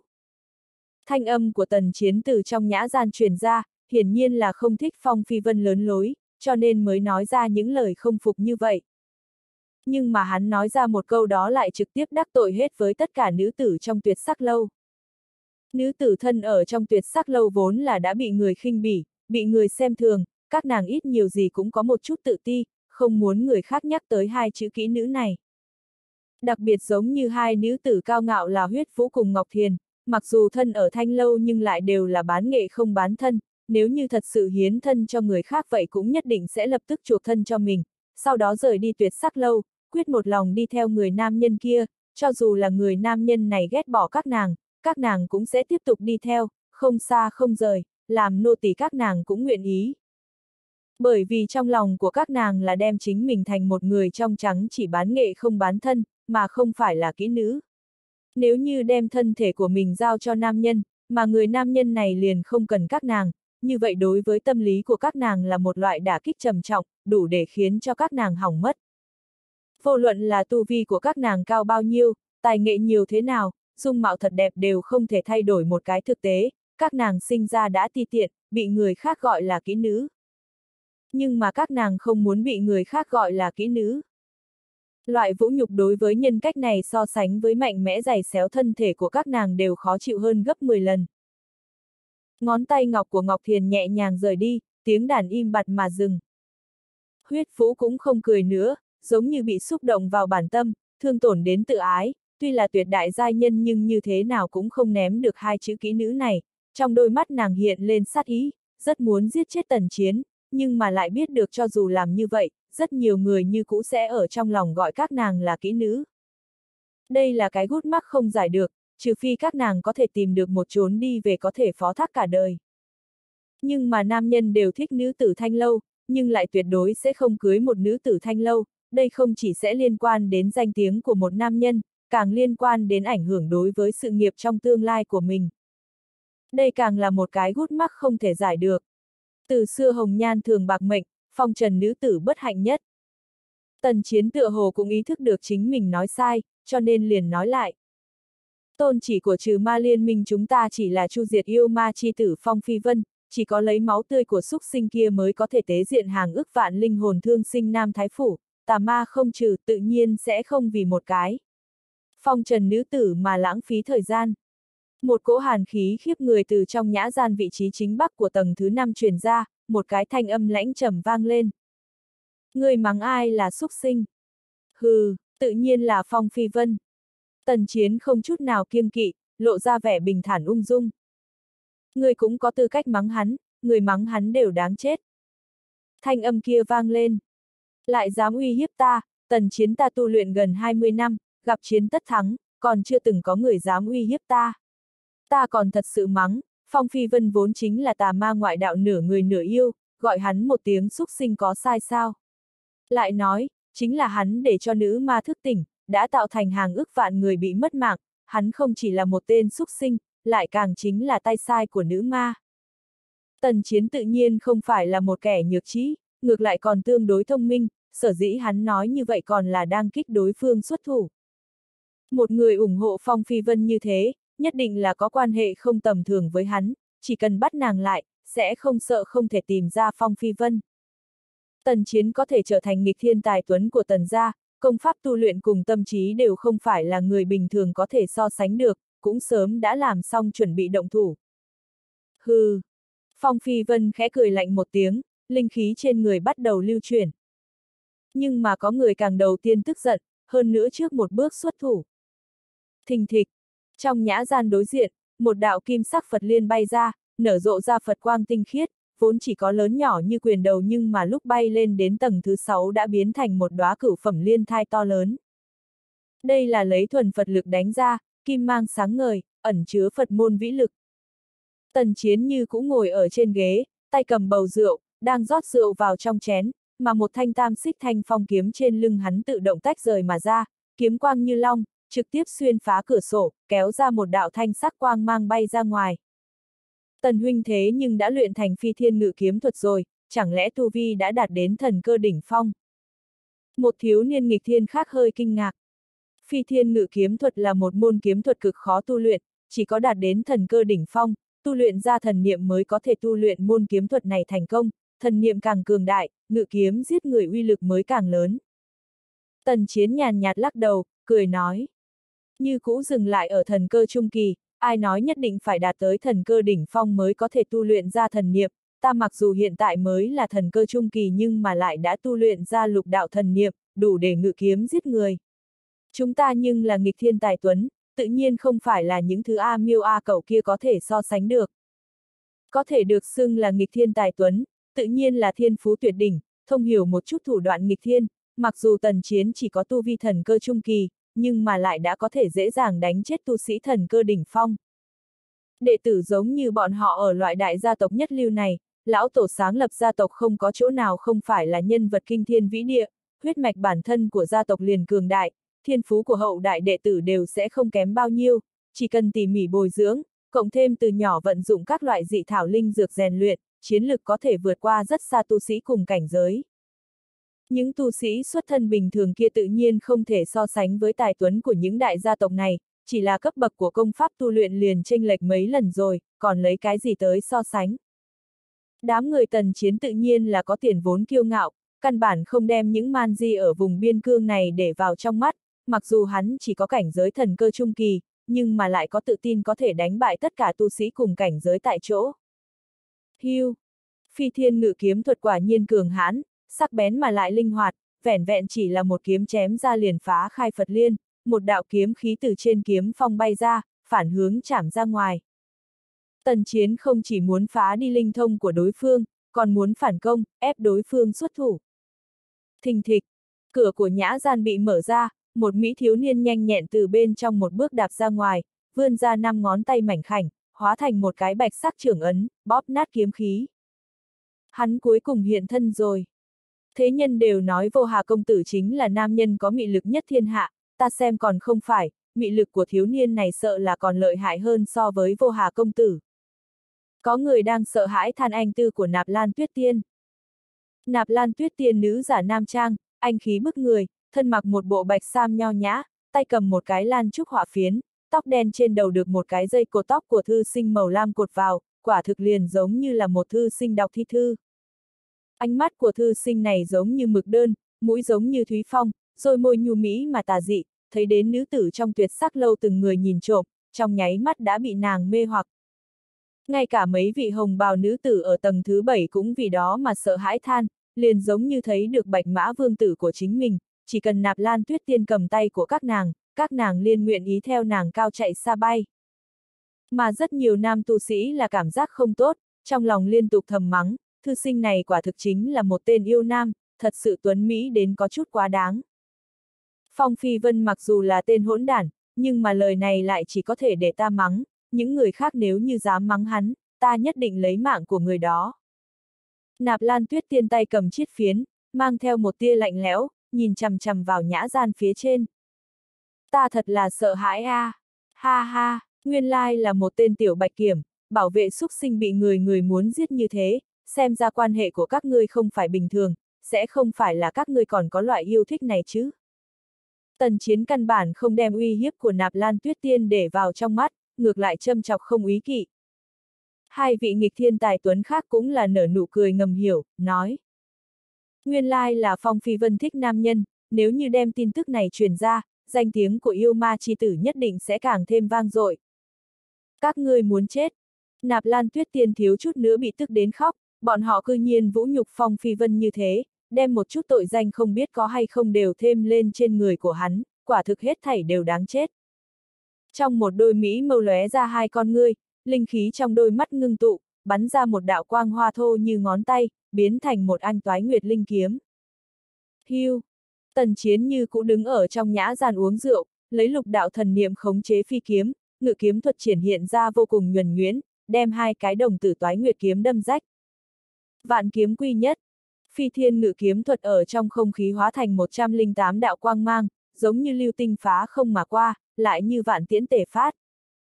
Vạn kiếm quy nhất chính là vô thượng kiếm thuật của tần gia, tu luyện tới cực hạn có thể một kiếm đâm ra một vạn 6.384 kiếm, tần chiến tự nhiên là không thể nào tu luyện vạn kiếm quy nhất này đến cực hạn, nhưng mà chỉ cần đâm ra 108 kiếm này cũng đã hết sức kinh khủng. Vô số kiếm khí nổ tung ở chung quanh thân thể của nạp lan tuyết tiên, trong đó có ba đạo kiếm khí cắt vỡ áo trên cánh tay nàng, họa xuất ra ba đạo vết máu, từng giọt máu tươi nhỏ tí tách. Ha ha, tiểu bạch kiểm, mặc dù tu vi của ngươi cũng là thần cơ trung kỳ, nhưng mà lại tuyệt đối không phải là đối thủ của ta, ở cùng cảnh giới ta là vô địch. Chỉ bằng vào tu vi của ngươi còn muốn ra mặt vì xúc sinh phong phi vân kia, sớm muộn sẽ chết ở trong tay của trừ ma liên minh chúng ta. Tần chiến nghĩa chính ngôn từ nói. Bất quá thiên tư của ngươi cũng rất tốt, nếu như chịu quỳ ở trên mặt đất dập đầu với ba người chúng ta một cái, bản thân ta có thể suy nghĩ bỏ qua cho ngươi. Còn phải hủy diệt gương mặt kia của hắn, thấy bộ mặt như nhân yêu kia tâm trạng của ta đều rất không thoải mái. Một vị nghịch thiên tài tuấn khác nói.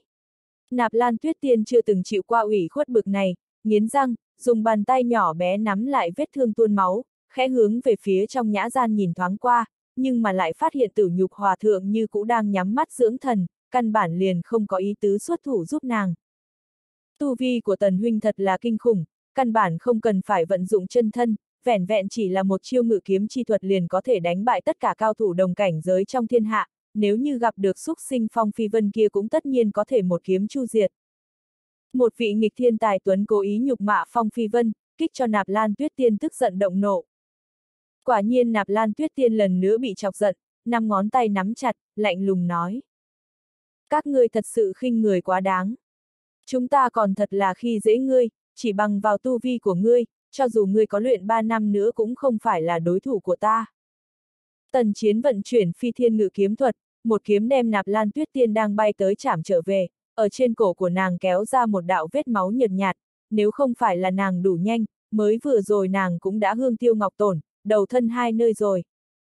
Nạp lan tuyết tiên từ trong nhã gian đi ra, phong phi vân liền nắm chén rượu, rơi vào trầm mặc, không nhúc nhích, trong mắt hiện ra quang mang phức tạp, thật lâu sau mới mạnh mẽ đổ rượu vào trong miệng. Lại có thể liên tục ở dưới vạn kiếm quy nhất của ta tránh thoát hai kiếm, người cũng có thể coi như là một vị nghịch thiên tài tuấn, chỉ bất quá kinh nghiệm thực chiến quá ít, hơn nữa lại tức giận xuất thủ, sơ hở thực sự quá nhiều. Mặc dù tu vi của ngươi tương đương với ta, nhưng mà trong 10 chiêu là ta có thể chém giết ngươi. Tần chiến khẽ nhíu mày, nếu như là thiên tài bình thường, một kiếm của hắn là có thể chém chết đối phương, nhưng mà hiện tại liên tiếp giao thủ qua hai chiêu, cũng vẻn vẹn chỉ là khiến đối phương bị thương nhẹ, rất hiển nhiên thư sinh anh Tuấn phi phàm này cũng là một vị nghịch thiên tài Tuấn. ngươi quá cuồng vọng rồi. Nạp Lan Tuyết Tiên vốn là rất ít khi giao thủ với tu sĩ cùng cảnh giới, ở trên chiến pháp đúng là không cách nào so sánh với loại người thân kinh bách chiến như tần chiến. Phỉ thúy Phật Châu từ lòng bàn tay của nàng từ từ dâng lên, tản mát ra đạm lục sắc quang hoa, chín lỗ trên Phật Châu bắn ra chín đạo kim sắc Phật quang, vô số Phật ảnh bao phủ nàng vào trong. Người có vạn kiếm quy nhất, thử vạn Phật quy nhất của ta một chút xem thế nào. Nạp Lan Tuyết Tiên mặc dù tế ra phỉ thúy Phật Châu, nhưng mà thời gian nàng tu luyện Phật môn công pháp ngắn ngủi, căn bản không thể nào khống chế được lực lượng mạnh mẽ của phỉ thúy Phật Châu. Mặc dù vạn Phật ở xung quanh thân thể nàng lượn lờ, khiến cho nàng lộ ra vẻ thánh khiết mà trang nghiêm, nhưng mà trên thực tế nàng đã bị lực lượng của phỉ thúy Phật Châu cắn trả, trong cơ thể đã bị thương không nhẹ. Ai, si nhi, si nhi. Tử nhục hòa thượng nhẹ thở dài một hơi, nhưng mà lại như cũ không có tính toán xuất thủ, nếu không phải để cho nàng trải qua đau đớn tê tâm liệt phế, nàng như thế nào lại chủ động buông tay. Mặc dù chỉ mượn một tia lực lượng của phỉ thúy Phật Châu, nhưng mà nạp lan tuyết tiên cũng đã hoàn toàn áp chế phi kiếm, thừa nhận đau đớn xé rách bị cắn trả, xông vào trong kiếm quang đầy trời. Tần chiến rốt cuộc đứng dậy, ngón tay niết động vô số kiếm quyết, 108 đạo kiếm khí cùng Phật ảnh đầy trời liên tiên giao thủ hơn 10 chiêu, tương tranh ngang hàng, chiến đấu đến kinh thiên động địa. Tuyết điều chi hồn. Tần chiến quát lên một tiếng, trong miệng thổ ra một đoàn bạch sắc quang hoa, bên trong bao phủ một đầu bạch sắc dị điểu, thân thể dài chừng một thước, mọc ra ba cặp cánh chim, mỏ chim như lợi kiếm lưu chuyển hàn quang, hai cái móng vuốt mọc đầy thiết lân, vô cùng sắc bén. Quả nhiên không hổ là nghịch thiên tài tuấn ở trong 10 vạn tu sĩ mới xuất ra một cái, thế nhưng trong thân thể tu luyện ra dị thú chi hồn. Những đại gia tộc nhất lưu kia nội tình thâm hậu, có thể chăn nuôi dị thú, sau đó giết chết dị thú, cường hành rút ra dị thú chi hồn, chuyên môn dùng để giúp cô động thân thể của đệ tử trẻ tuổi. Phàm là người có thể thu phục dị thú chi hồn, luyện hóa vào trong thân thể đều là cường giả có thiên phú vượt xa thường nhân, có đại nghị lực. Một đầu tuyết điểu này vốn chỉ là một đầu dị thú 400 năm, bị tần chiến ở lúc 15 tuổi mạnh mẽ thu phục, luyện hóa vào trong thân thể, theo tu vi của tần chiến đề cao, chiến lực của tuyết điểu cũng nhanh chóng tăng lên, thực lực hôm nay đã có thể so với dị thú 500 năm. Dĩ nhiên chỉ là dị thú bình thường có tu vi 500 năm, cũng không bao gồm một ít thú quần của chủng tộc cổ xưa hoặc thú quần của chủng tộc nghịch thiên. Thực lực của dị thú 500 năm đã tương đối kinh khủng, một trào liền xé nát 18 đạo Phật ảnh, xông vào trong vòng chiến, lại là tự thân xuất ra bạch sắc điều chảo, từng đạo thiết lân ma sát ra ánh lửa ở trong không khí. Oanh long long, vô số chiến ảnh xuyên toa ở trong không khí, có ánh lửa đang chấp động, có tiếng chim hót vang lên, Phật quang bị từng tỏa phá vỡ. Oanh, chiến thanh kết thúc, tuyệt điểu mang theo tư thái thắng lợi bay trở về trong thân thể của tần chiến, tần chiến cũng thu lại phi kiếm, cười nói. Lại có thể ép ta dùng cả vạn kiếm quy nhất cùng dị thú chi hồn, mặc dù ngươi thua nhưng mà tu vi của ngươi đã đủ cường địa, ta có ý định thả cho ngươi một đường sống, điều kiện tiên quyết là ngươi phải nói ra hạ lạc của Phong Phi Vân cho ta biết. Tần chiến trên cao nhìn xuống, chắp hai tay sau lưng, liền giống như một tôn vương giả của thế hệ trẻ, coi rẻ chúng sinh, không đem bất luận kẻ nào để vào trong mắt. Người thắng sẽ phải có tư thái của người thắng, được làm vua, thua làm giặc, vốn là như thế. Giờ phút này nạp lan tuyết tiên không còn được anh Tuấn tiêu sái như trước, trên người ít nhất mang theo 10 đạo vết thương, trên lưng bị tuyết điểu kéo xuống một khối huyết nhục, đại lượng máu tươi từ trong vết thương xông ra, khiến cho bạch y trên lưng nàng đều bị nhuộm đỏ. Nàng nửa quỳ trên mặt đất, cả người đều đã bị mồ hôi ướt đẫm, không ngừng thở dốc, thân thể mềm mại phảng phất tùy thời đều sẽ ngã xuống không dậy nổi. Phốc, cắn trả của phỉ thúy Phật Châu làm cho cả người nàng chấn động, trong miệng phun ra một búng máu. Trong mắt của rất nhiều nữ tử đều sinh ra vẻ không đành lòng, sâu kín thở dài, nhưng mà lại không có ai tiến lên dìu nàng dậy, bởi vì tu vi của tần chiến thật quá kinh khủng, không có ai muốn đắc tội hắn. Người còn không ra tay sao? Vô Hà công tử hướng về phía một tấm ngọc kính, nhìn khuôn mặt anh Tuấn bất phàm của mình, trên mặt mang theo vẻ cười cười kỳ dị, tựa hồ là đang lẩm bẩm, để cho hoàng thúc của bà La Quốc ở một bên cảm thấy hết sức không giải thích được. Phong Phi Vân cùng Vô Hà công tử chỉ cách nhau một bức tường, biết hắn đây là đang nói chuyện với mình. Vô Hà công tử cười nói, ta có thể hiểu được tâm tình bây giờ của ngươi, ngươi vừa muốn ra tay, nhưng lại sợ để cho nàng biết ngươi xuất hiện ở thanh lâu, cùng nữ nhân khác khanh khanh ta ta. Ha ha, nếu như ngươi chịu van xin ta, bản thân ta liền nguyện ý ra tay giúp ngươi cứu nàng, nữ hài tử tốt như vậy, ngươi không đau lòng nhưng ta lại bắt đầu có chút đau lòng. Chỉ bất quá, ta sợ, sau khi ta cứu nàng, nàng sẽ lưu luyến không muốn rời ta, yêu ta. Vô Hà công tử đối với mị lực của mình vẫn là tương đối tự tin. Phong Phi Vân hiện tại đúng là tương đối khó làm, không chỉ sợ hãi nạp lan tuyết tiên cố tình gây sự như thế này, càng không muốn bại lộ thân phận của mình, rước lấy sát kiếp vô tận, nhưng mà hắn có lựa chọn sao? Hắn làm sao có thể không đau lòng? Cũng đúng, người đã có một tứ tiểu thư phú khả địch quốc, tiền đồ sáng lạng ở phái trước, lại như thế nào còn sẽ đau lòng vì một nữ tử khác, xem ra chỉ có thể ta tới làm thay rồi. Vô Hà công tử như cũ là đang cười. Sắc mặt của Phong Phi Vân trầm xuống, rốt cuộc vẫn phải mở miệng nói chuyện, nói. Tay của ngươi nếu như kéo ra quá dài, ta sớm muộn có một ngày chặt xuống. Ta thật sợ hãi. Vô Hà công tử cười nói. Những lời này Phong Phi Vân lại không hề cải biến thanh âm nữa, đây chính là thanh âm vốn có của bản thân hắn. Nói xong lời này, hắn liền đứng dậy, mở cửa của nhã gian, đưa mắt nhìn tần chiến một cái, nói.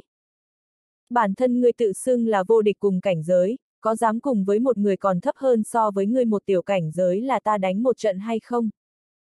Rất nhiều người đều cảm thấy thiếu niên ăn mặc giống tên ăn mày này thật sự quá bộc lộ tài năng, hơn nữa còn có chút hít xen vào chuyện của người khác, tối nay tựa như hận không thể đắc tội hết tất cả mọi người. Tần Chiến đứng ở phía trên, mắt khẽ liếc Phong Phi Vân một cái, cười nói. Ta mới vừa rồi thấy người giao thủ với mấy cái chiến tướng phế vật, người thật sự có thể xem là nghịch thiên tài tuấn, nhưng mà lại chỉ có cảnh giới thần cơ sơ kỳ, nếu như trên người của ngươi không có thi độc, ngươi căn bản đối với ta không có một chút uy hiếp nào, ngay cả thân thể của ta cũng không nhìn thấy được, chênh lệch giữa chúng ta thật sự quá lớn. Nếu như tần chiến biết Bắc Minh đường đạt đến tu vi thần cơ đỉnh phong cũng bị phong phi vân hành hạ, hắn chỉ sợ sẽ không cao ngạo như hiện tại rồi. Chẳng lẽ tài tuấn của trừ ma liên minh các ngươi đều là ếch ngồi đáy giếng như vậy? Phong phi vân cười nói. Sắc mặt của tần chiến lạnh lại, nói. Tiểu tử, người tốt nhất còn là ngậm miệng lại, đắc tội với hơn 10 vị nghịch thiên tài tuấn của trừ ma liên minh, cho dù ngươi có 10 cái mạng cũng không đủ chết. Trừ ma liên minh được gọi là liên minh mạnh nhất của thế hệ trẻ tuổi ở Nam Thái Phủ, tần chiến có thể trở thành một thành viên trong đó tự nhiên cảm giác lâng lâng, dĩ nhiên muốn duy trì uy nghiêm của trừ ma liên minh. Là vậy sao, ta cần phải đắc tội trừ ma liên minh sao? Lại nói người rốt cuộc có biết ta là ai hay không? Ở một khắc kia Phong Phi Vân đứng ra liền đã làm tốt chuẩn bị bại lộ thân phận, cho nên cũng không sợ gánh chịu hậu quả. Tần Chiến mặc dù nhìn thấy bức họa của Phong Phi Vân, nhưng mà lại như thế nào cũng đều không thể liên tưởng đến Phong Phi Vân cùng tên ăn mày này ở chung một chỗ. Nhưng mà có người lại nhìn một cái đã nhận ra Phong Phi Vân rồi. Phong Phi Vân người khốn kiếp, thế nhưng ở trong thanh lâu chơi gái, ta liền biết không nhìn đến ngươi, ngươi liền chui đến làm cho nữ nhân lên giường rồi. Nạp Lan Tuyết Tiên mặc dù thân bị trọng thương, bạch y nhuốm máu, nhưng mà giờ phút này lại trong nháy mắt đứng dậy, mang theo một thân đau đớn, lướt qua hư không, nổi giận đùng đùng hướng Phong Phi Vân lao đến. Ở một khắc kia nhìn thấy Phong Phi Vân, thương thế trên người nàng tựa hồ liền tốt rồi. Nguyên lai thiếu niên bao hết hai đại hồng bài cô nương của tuyệt sắc lâu chính là đại khốn kiếp Phong Phi Vân này, nạp lan tuyết tiên bị tức đến không nhẹ. Cái tức phụ phá sản này, trong lòng Phong Phi Vân vốn là mang theo một tia hy vọng, nhưng mà tên của mình lại trực tiếp bị nàng hô lên, lúc này tốt rồi, tất cả mọi người biết hắn chính là yêu ma chi tử Phong Phi Vân, phản đồ của Phong gia, tay sai của nữ ma. Phong Phi Vân mặc dù bất đắc dĩ, nhưng mà lại không có cách nào tức giận với nàng, máu trên người nàng cũng là vì hắn mà chảy, nàng bị thương cũng là vì hắn mà bị thương, Phong Phi Vân căn bản ngay cả tư cách tức giận cũng không có. Phong Phi Vân vuốt vuốt cái chán, có chút im lặng mà nói. Tuyết tiên, trời đất chứng giám A, con mắt nào của ngươi nhìn thấy ta lên giường với nữ nhân khác? Rõ ràng là có, mới vừa rồi ngươi cùng với hai mỹ nhân nũng nịu kia sợ là rất sung sướng đi. Nạp lan tuyết tiên bám lấy không buông, cái miệng nhỏ nhắn kia lộ ra hai hàm răng trắng như tuyết, tựa như một con gà mái nhỏ muốn cắn lên trên người của Phong Phi Vân một cái. Nàng vừa định hảo hảo dạy dỗ cái tay ăn chơi này một phen, nhưng mà lại bị tên ăn chơi này bắt lấy, ôm vào trong ngực, căn bản là không thể động đậy. Phong Phi Vân ấn lấy vai thơm của nàng, nhẹ nhàng vuốt vết máu trên người cùng vết thương ở sau lưng nàng, trong miệng phát ra thanh âm sách sách, nàng trẻ tuổi lại còn nhỏ như vậy, hơn nữa lại hồn nhiên, nhưng mà lại vì mình mà không muốn sống đi tranh đấu với người khác, thật sự quá u mê. Nạp Lan Tuyết Tiên cố chấp bướng bỉnh hai cái, liền không hề động nữa, thanh âm có chút nức nở mà nói. Bọn họ đều nói người nhảy vào trong hoàng nê cổ tỉnh, theo cả cái thương sinh tự trầm xuống dưới lòng đất, đã chết đến thi cốt vô tồn, nhưng mà ta không tin, đại hỗn đản ngươi thích giả bộ chết nhất, một cái cổ tỉnh giếng cổ làm sao có thể chôn vùi ngươi được. Phong Phi Vân nói, ta tự nhiên là không chết được, cho dù muốn chết cũng phải trải qua sự phê chuẩn của ngươi. Nhưng mà ta hiện tại lại ước gì ngươi sớm đã chết mới tốt, tránh nhìn thấy cảnh khiến người tức giận.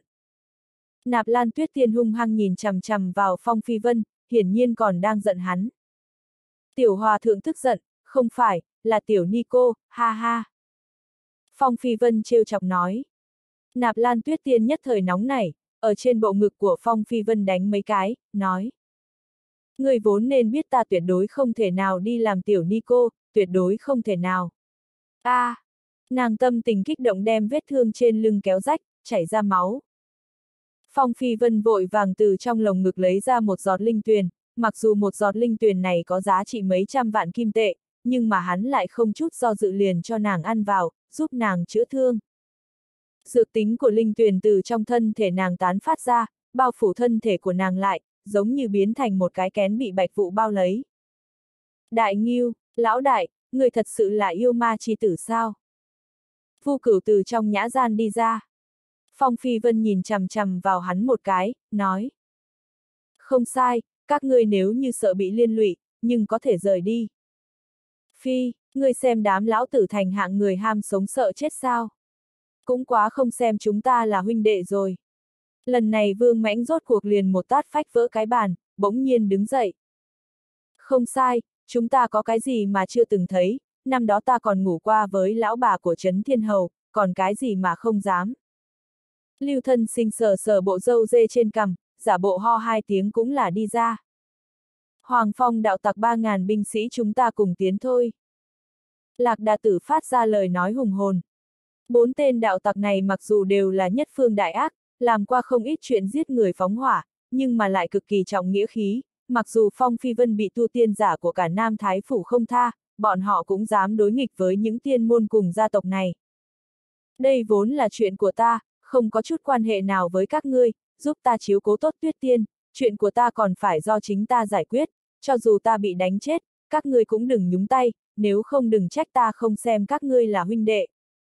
Nam Thái phủ đại tiểu tiên môn đâu chỉ là 10 vạn, thế lực lớn đứng đầu lại càng có hơn 10, hạng người tu vi cường đại không ít, người nào dám đắc tội tu tiên giả của một phủ.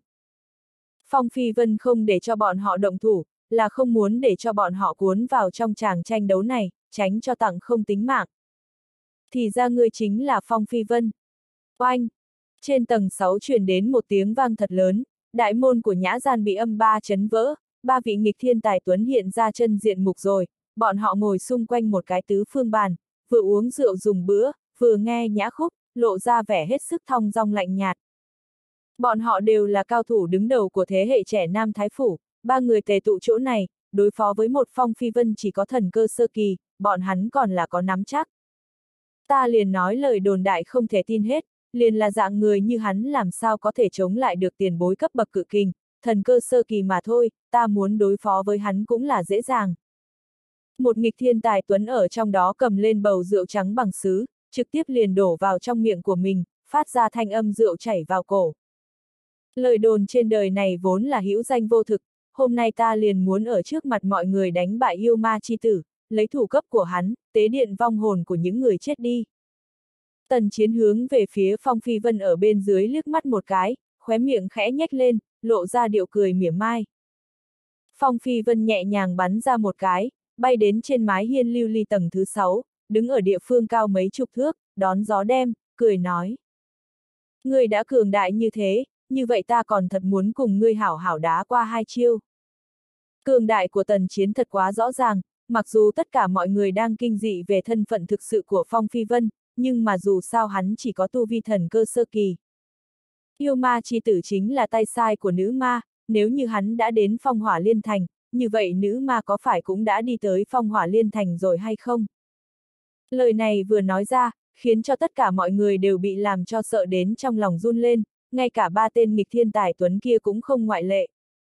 Mặc dù tất cả mọi người cho là người nào ở trong ba tên nghịch thiên tài tuấn đều có thể đánh bại được Phong Phi Vân, nhưng nếu như nữ ma đi tới Phong Hỏa Liên Thành, như vậy tất cả mọi người đều chết. Hưu! Tâm trí của tần chiến kiên định, rất nhanh liền thu liễm ý sợ hãi trong lòng đối với nữ ma, ngón tay nhẹ nhàng niết động kiếm quyết, tam xích thanh phong kiếm trên lưng lập tức liền bay ra ngoài. Lại là phi thiên ngự kiếm thuật. Phong phi vân đón gió mà đứng, tóc đen ở trong gió lạnh bay loạn, liền ở trong nháy mắt tam xích tang phong của tần chiến ra khỏi vỏ, hắn bỗng nhiên xông ra nguyếp, thân thể biến thành một đạo tàn ảnh, giống như là quỷ mị bay múa ở mái hiên tuyệt sắc lâu. Thình thịch, thình thịch, thình thịch. Bóng dáng của phi kiếm kia ở trong không khí phát ra thanh âm bùm bùm, không ngừng giao thủ với một đạo tàn ảnh kia, lúc thì xuất hiện ở phía tây, thỉnh thoảng lại bay vút đến phía đông. Trong tuyệt sắc lâu khắp nơi đều là kiếm khí xuyên toa, một chút hỏa hoa kèm theo kiếm khí lộ ra vẻ hết sức chói mắt. Mặc dù tần chiến như cũ thong dong ngồi ở trên ghế, nhưng mà thân thể lại đã khẩn trương, năm ngón tay cấp tốc biến đổi kiếm quyết, mới có thể miễn cưỡng đuổi theo thân pháp biến hóa của Phong Phi Vân. Tốc độ của một người làm sao có thể nhanh như vậy? Tần chiến cảm giác tốc độ niết động kiếm quyết của mình đều sắp không đuổi theo nổi tốc độ biến hóa thân pháp của Phong Phi Vân, trên trán đã tràn ra từng giọt mồ hôi, chợt trong năm ngón tay bắn ra năm đạo hàn quang, đồng thời đánh vào trong phi kiếm.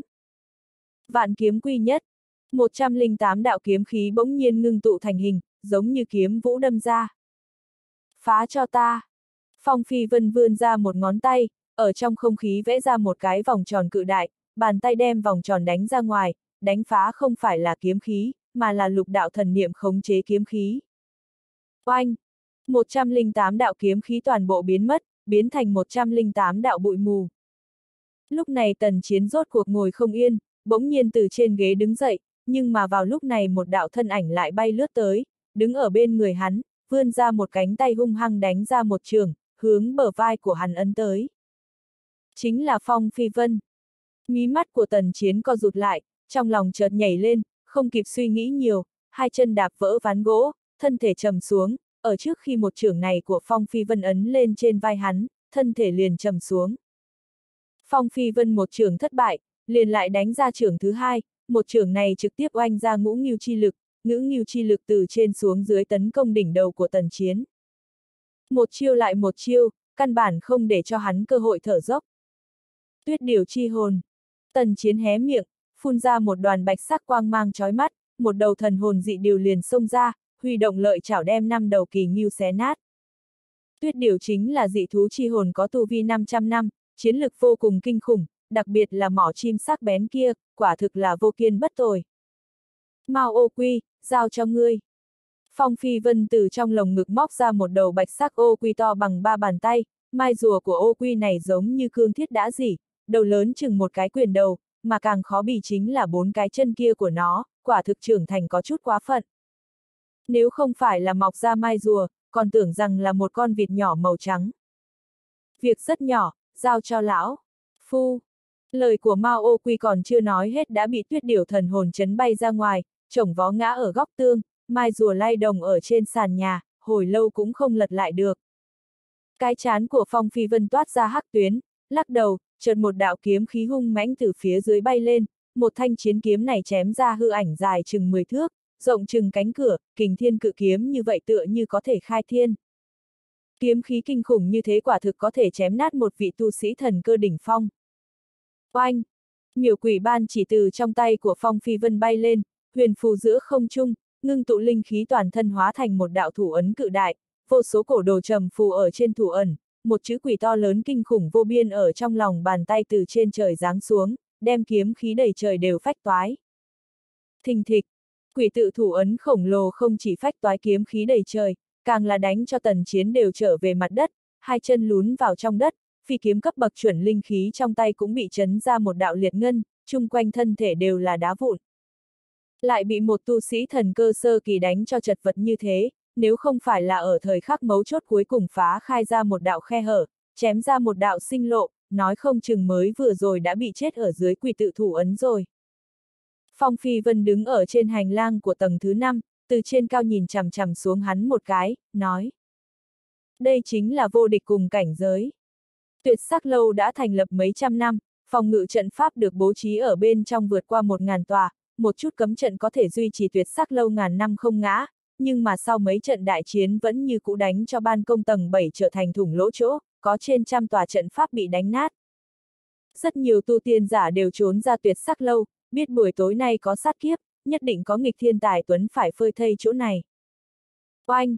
Hai chân của tần chiến từ trên mặt đất rút ra, một đôi giày đã biến thành cho bụi, hai ống quần cũng vỡ tan, trên bàn chân vết thương chồng chất, không ngừng có huyết trâu chảy xuống.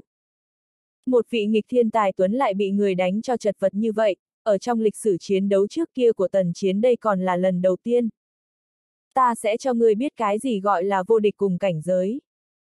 Tần chiến cầm bảo khí chiến kiếm đã bị vỡ vụn trong tay ném ra ngoài, cắm ở trên mặt đất, phát ra thanh âm kiếm minh nhẹ nhàng. Chiến kiếm đã bị thương, như vậy liền là một thanh kiếm vô dụng. Cách cách, chiến kiếm đột nhiên đoạn thành chín khúc, biến thành sắt vụn rơi trên mặt đất, tần chiến đích thân táng kiếm, như đang giết người tế cờ, chiến ý trên người càng thêm hung mãnh, như mặt trời trói trang nhô lên cao, tràn ngập cả tuyệt sắc lâu. Ánh mắt của Phong Phi Vân co rụt lại, cảm nhận được một cỗ đại địa chi khí cuồn cuộn đang tràn vào thân thể của tần chiến. Thiên vương chi thành, đại địa chi hổ. Trong lòng đất có kim sắc yên vân bao phủ ở trên hai chân của tần chiến, tiếp đó lan tràn đến toàn thân hắn, một cỗ lực lượng hậu trọng mà bàng bạc ở trên thân thể hắn dựng dục, một đầu thần hổ cự đại bao phủ thân thể của hắn, phát ra tiếng kêu gào kinh thiên động địa. Đầu thần hổ này tựa như thần hồn hư ảnh của tần chiến, một đôi kim sắc hổ mục lớn chừng miệng chén, trên trán có hắc sắc chiến văn xuyên toa, hóa thành một chữ vương uy nghiêm. Hổ khiếu vừa vang lên, trận pháp của cả tuyệt sắc lâu đều bị chấn nát bảy, tám tòa, những trận pháp khác lại càng lờ mờ không ánh sáng.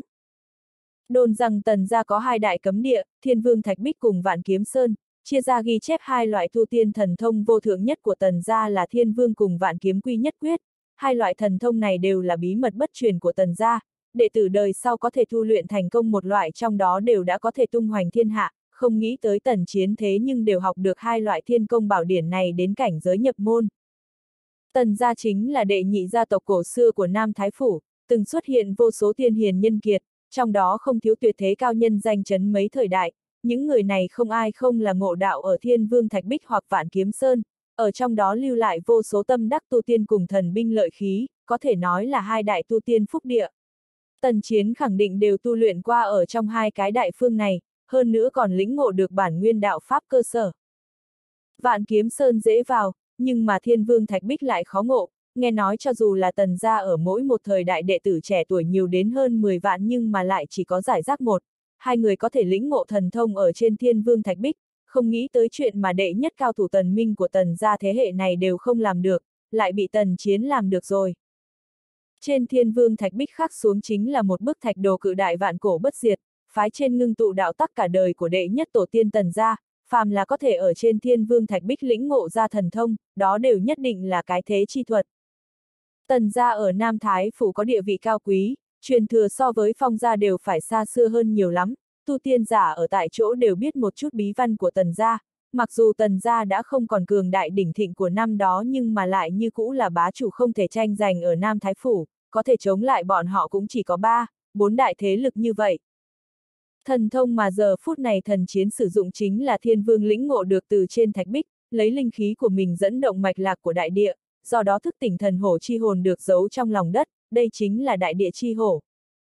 Khi hắn phá tan cảnh giới thiên mệnh, thậm chí có thể lấy đại địa chi hổ triệu hoán ra thiên không chi thành, như vậy mới thật sự là vương giả ở cùng cảnh giới, cho dù gặp phải thiên tài cấp bậc sử thi cũng có thể gọi nhịp.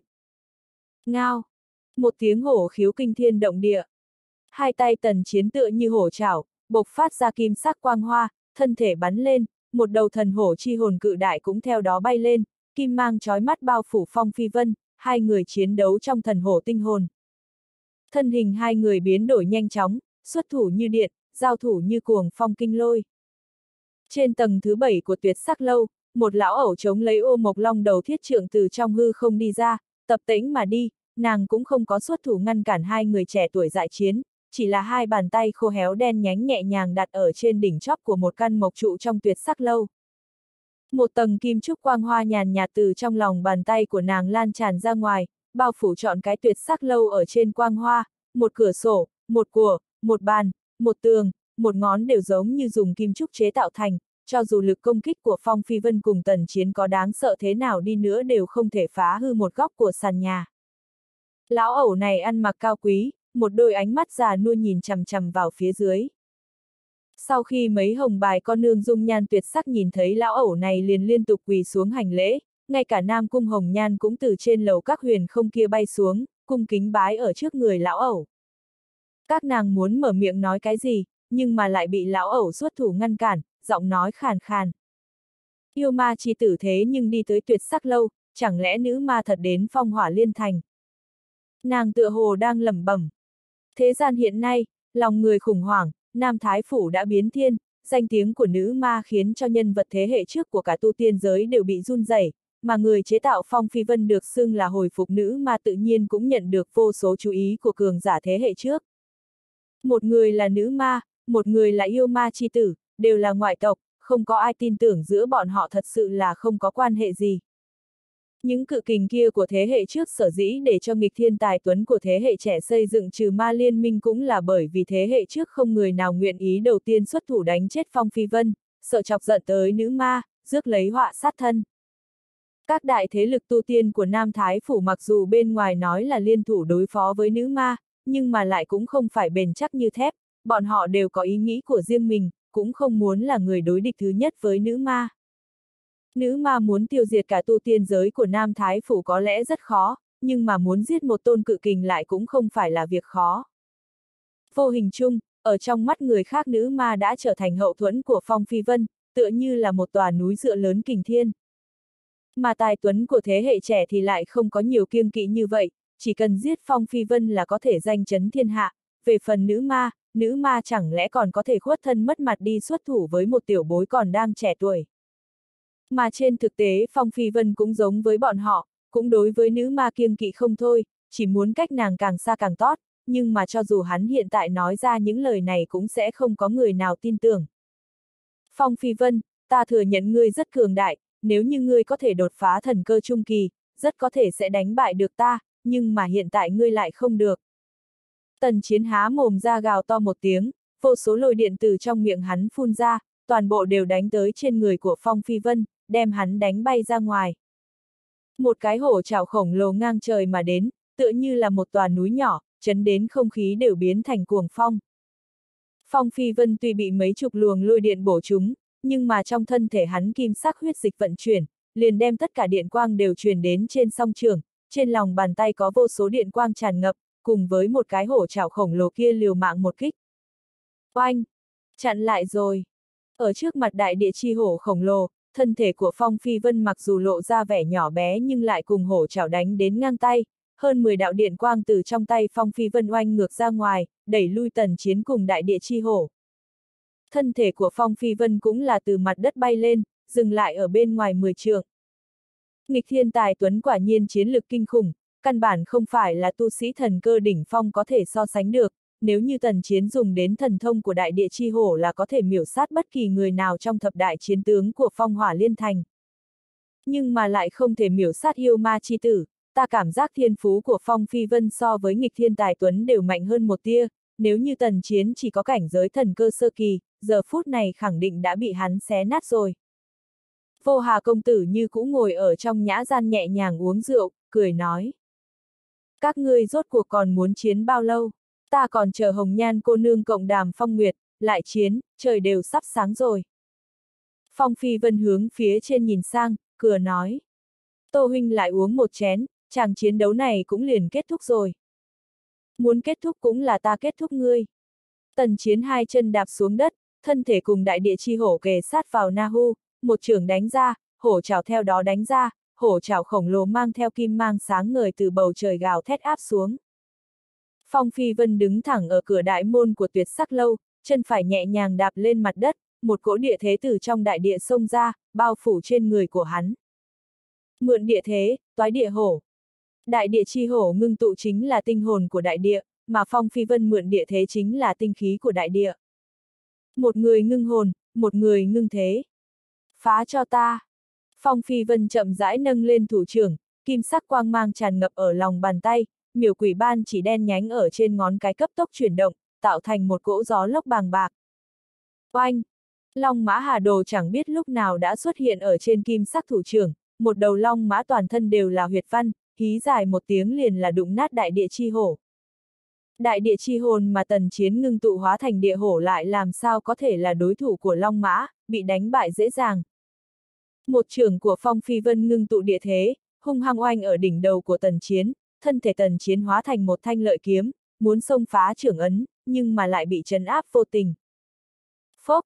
Tần chiến mặc dù bị đánh bại, thân thể bị phách đến hung hăng đụng lên trên vách tường, toàn thân đều bị máu tươi nhuộm đỏ, nhưng mà trong miệng hắn lại phun ra một thanh huyết kiếm, xuyên phá khe hở của trưởng ấn, tước xuống một sợi tóc của Phong Phi Vân, thiếu chút nữa liên đâm xuyên qua đầu hắn.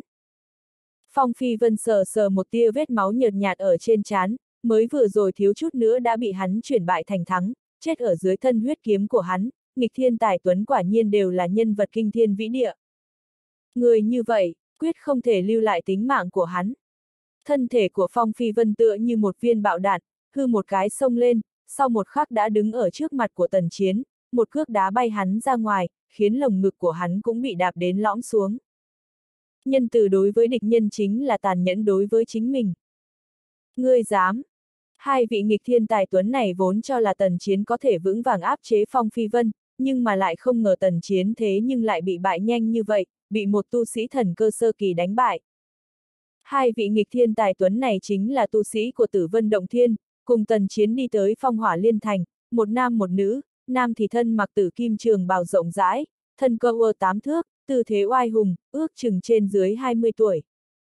Nữ cũng là mặc tử kim la bào, ngang hồng buộc một cái đai lưng có theo linh hoa, so với nam tử kia thì nhỏ tuổi hơn, cũng là thiên sinh mỹ diệu, lông mày giống như lông chim phỉ thúy, làn da như bạch tuyết, tuyệt đối là một vị gia nhân khuynh thành. Nam tên là Tử Xuyên, nữ tên là Tử Thanh, đây là một đôi huynh muội. Hai người chính là anh tài kiệt xuất nhất thế hệ trẻ tuổi của Tử Vân Động, đồng thời từ tầng phái sau bay xuống, chân đạp một phiến tử sắc vân thải, giống như hai vị tiên dáng trần. Tử Xuyên cầm một phiến lưu quang vân phàm trong tay, giống như cánh buồm kích đãng ra thần mang giống như ba đào.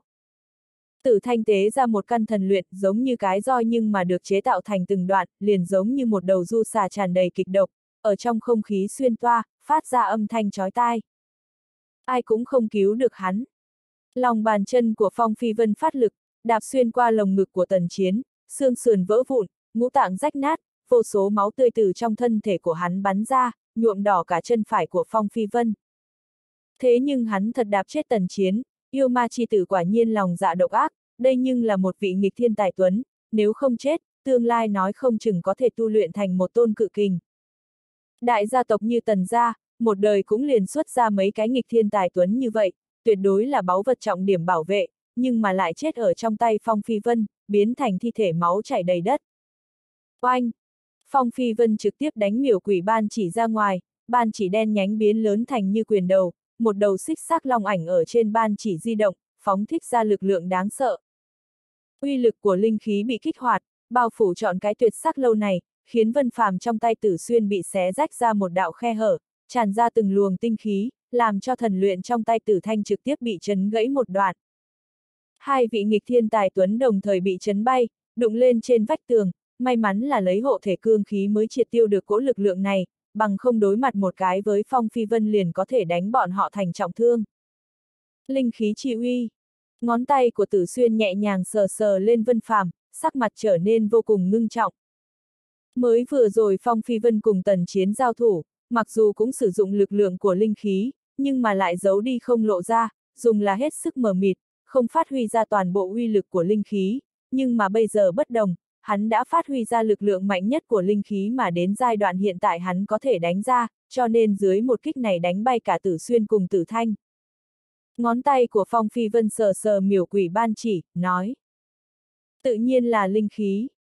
Uy lực của linh khí thật sự quá cường địa, có thể hưng vượng một cái gia tộc, chấn áp loạn thế một phương, coi như là tu sĩ cảnh giới thiên mệnh bình thường cũng không cách nào nhận được một kiện linh khí, nhưng mà tu vi của Phong Phi Vân mới là thần cơ sơ kỳ, liền có thể mang theo một kiện linh khí tác chiến. Khó trách hắn có thể đánh chết tần chiến. Uy lực của linh khí không chỉ như thế, xem ra Phong Phi Vân từ đầu tới cuối đều chưa dùng hết toàn lực. Cả phong hỏa liên thành đều bị bao phủ ở trong bóng đêm băng lãnh, từng phiến thần vân ở trên bầu trời tập kết, một đạo quang trụ từ trên tầng mây chiếu xạ mà xuống, tựa như một tôn thiên thần sắp hàng lâm. Hưu! Một đạo quang trụ kia rất nhanh liền biến mất, nhưng mà tầng mây màu đen trên trời lại càng ngày càng dày, chẳng biết từ lúc nào đã có một lão giả thân mặc kim sắc trường bào đứng ở bên ngoài tuyệt sắc lâu. Hắn là đi ra từ trong quang trụ, trên người lưu chuyển từng đạo điện mang, một đôi ánh mắt có nếp nhăn kéo dài mang theo sát ý vô cùng, chỉ là nhẹ nhàng bước ra một bước liền đứng ở trong tuyệt sắc lâu. Đúng là vẫn còn đến chậm một bước. Lão giả này đi tới trước thi thể của tần chiến, nhìn bộ ngực bị vỡ ra còn có máu huyết đang chảy, sát ý trên mặt càng thêm nồng đậm, một cỗ hàn khí kia để cho mỗi một vị tu tiên giả ở trong tuyệt sắc lâu đều cảm giác được tâm linh đang run rẩy. Tu vi của vị lão giả này rất là cường đại, đã đạt đến cảnh giới thiên mệnh đệ nhất trọng, sống 260 năm mà không chết, chính là người hộ đạo của tần chiến. Trên thực tế nghịch thiên tài tuấn của từng cái thế lực lớn đều sẽ có một vị hộ đạo giả của thế hệ trước, nghịch thiên tài tuấn đi ra ngoài, hộ đạo giả cũng sẽ âm thầm đi theo, chỉ cần không phát sinh ra nguy cơ sinh tử tuyệt đối, hộ đạo giả liền sẽ không xuất hiện. Tần chiến nếu không phải gặp được Phong Phi Vân, như vậy trong cả phong hỏa liên thành căn bản không có người nào dám giết hắn, cho nên vị hộ đạo giả này cũng là không có lo lắng về an toàn tính mạng cho hắn. Nhưng mà khi hắn cảm ứng được sinh mệnh lực trên người tần chiến đang cấp tốc yếu bớt, lúc chạy tới lại đã muộn. Người chính là yêu ma chi tử, thật cho là có nữ ma làm chỗ dựa, là có thể không để người trong thiên hạ vào mắt. Trên người của hộ đạo giả kích đáng ra một cỗ khí thức nhàn nhạt, trực tiếp chấn đến hai vị nghịch thiên tài tuấn của tử vân động phủ cùng phong phi vân đều liên tiếp lùi về phía sau. Tu sĩ có thể đạt tới cảnh giới thiên mệnh đều là người có đại uy năng, thọ mệnh 500 năm, bình thường đều rất ít khi xuất hiện ở tu tiên giới, tuyệt đại đa số đều đã bắt đầu bế quan tu luyện, hướng thiên đoạt mệnh, mỗi khi tăng lên một trọng thiên, tuổi thọ liền có thể lại gia tăng một giáp, cũng chính là 60 năm. Thiên mệnh, thiên mệnh, hướng thiên đoạt mệnh. Bàn chân của Phong Phi Vân vững vàng dẫm trên mặt đất, ổn định thân hình, không kiêu ngạo không xiểm nịnh mà nói. Chỉ cho phép người của tần gia các ngươi giết ta mà không cho phép ta giết các ngươi. Tốt, tốt, tốt, tốt cho một tên tiểu bối, lão phu chính là hộ đạo giả của tần chiến, nếu như tần chiến đã chết, như vậy ngươi nhất định phải chôn cùng với hắn. Tóc trắng trên đầu của hộ đạo giả không gió mà bay, một phiến mây màu ở mi tâm của hắn từ từ dâng lên, liền giống như là một cái thiên nhãn vô thượng, một đạo kiếm khí sắc bén ở mi tâm của hắn ngưng tụ, một cỗ kiếm khí này thật sự cường đại khiến cho lòng người run rẩy, chỉ là ở trong lúc chuẩn bị cũng đã để cho Phong Phi Vân cảm thấy uy hiếp tử vong. Cường giả cảnh giới thiên mệnh đệ nhất trọng đã có biến hóa như trời với đất so với tu sĩ cảnh giới thần cơ, nếu là tu sĩ cảnh giới thần cơ còn vẻn vẹn chỉ là tuyệt đỉnh cao nhân trong phàm tục, như vậy tu sĩ thiên mệnh nhất trọng thiên liền đã là tiên nhân trong mắt người bình thường. Ở trước mặt hộ đạo giả, Phong Phi Vân cảm giác thân thể của mình giống như bị sa vào trong vũng bùn, ngay cả một ngón tay đều không thể nhúc nhích, giống như đối phương chỉ cần ấn một ngón tay là có thể lấy đi tính mạng của hắn. Chợt, một cỗ khí tức áp lực kia biến mất không thấy gì nữa, Phong Phi Vân cảm giác trên người chợt nhẹ, chỉ thấy vị hộ đạo giả già nua kia đầy mặt đều là kinh hãi, cô lấy thi thể của tần chiến ở trên mặt đất, sau đó phá vỡ cửa sổ, liền hướng màn đêm mà chạy trốn. Oanh! Nhưng mà lão mới vừa vặn phá tan cửa sổ đã bị một người dùng một cái tát đánh bay trở lại, đụng lên trên xà nhà, thân thể già nua lộ ra vẻ có chút huệ oải, trong nghê thổ ra một ngụm máu tươi diễm lệ. Một vị tu sĩ thiên mệnh nhất trọng thiên lại bị một cái tát đánh thành trọng thương. Khóe miệng của hộ đạo giả kia tràn ra máu tươi, trong mắt tràn đầy kinh hãi, nhìn chằm chằm vào âm phong tràn ngập ngoài cửa sổ, run rẩy nói. Nữ ma đại nhân, ta không phải là cố ý đắc tội với Phong Phi Vân, mới vừa rồi chỉ là một cái đùa giỡn.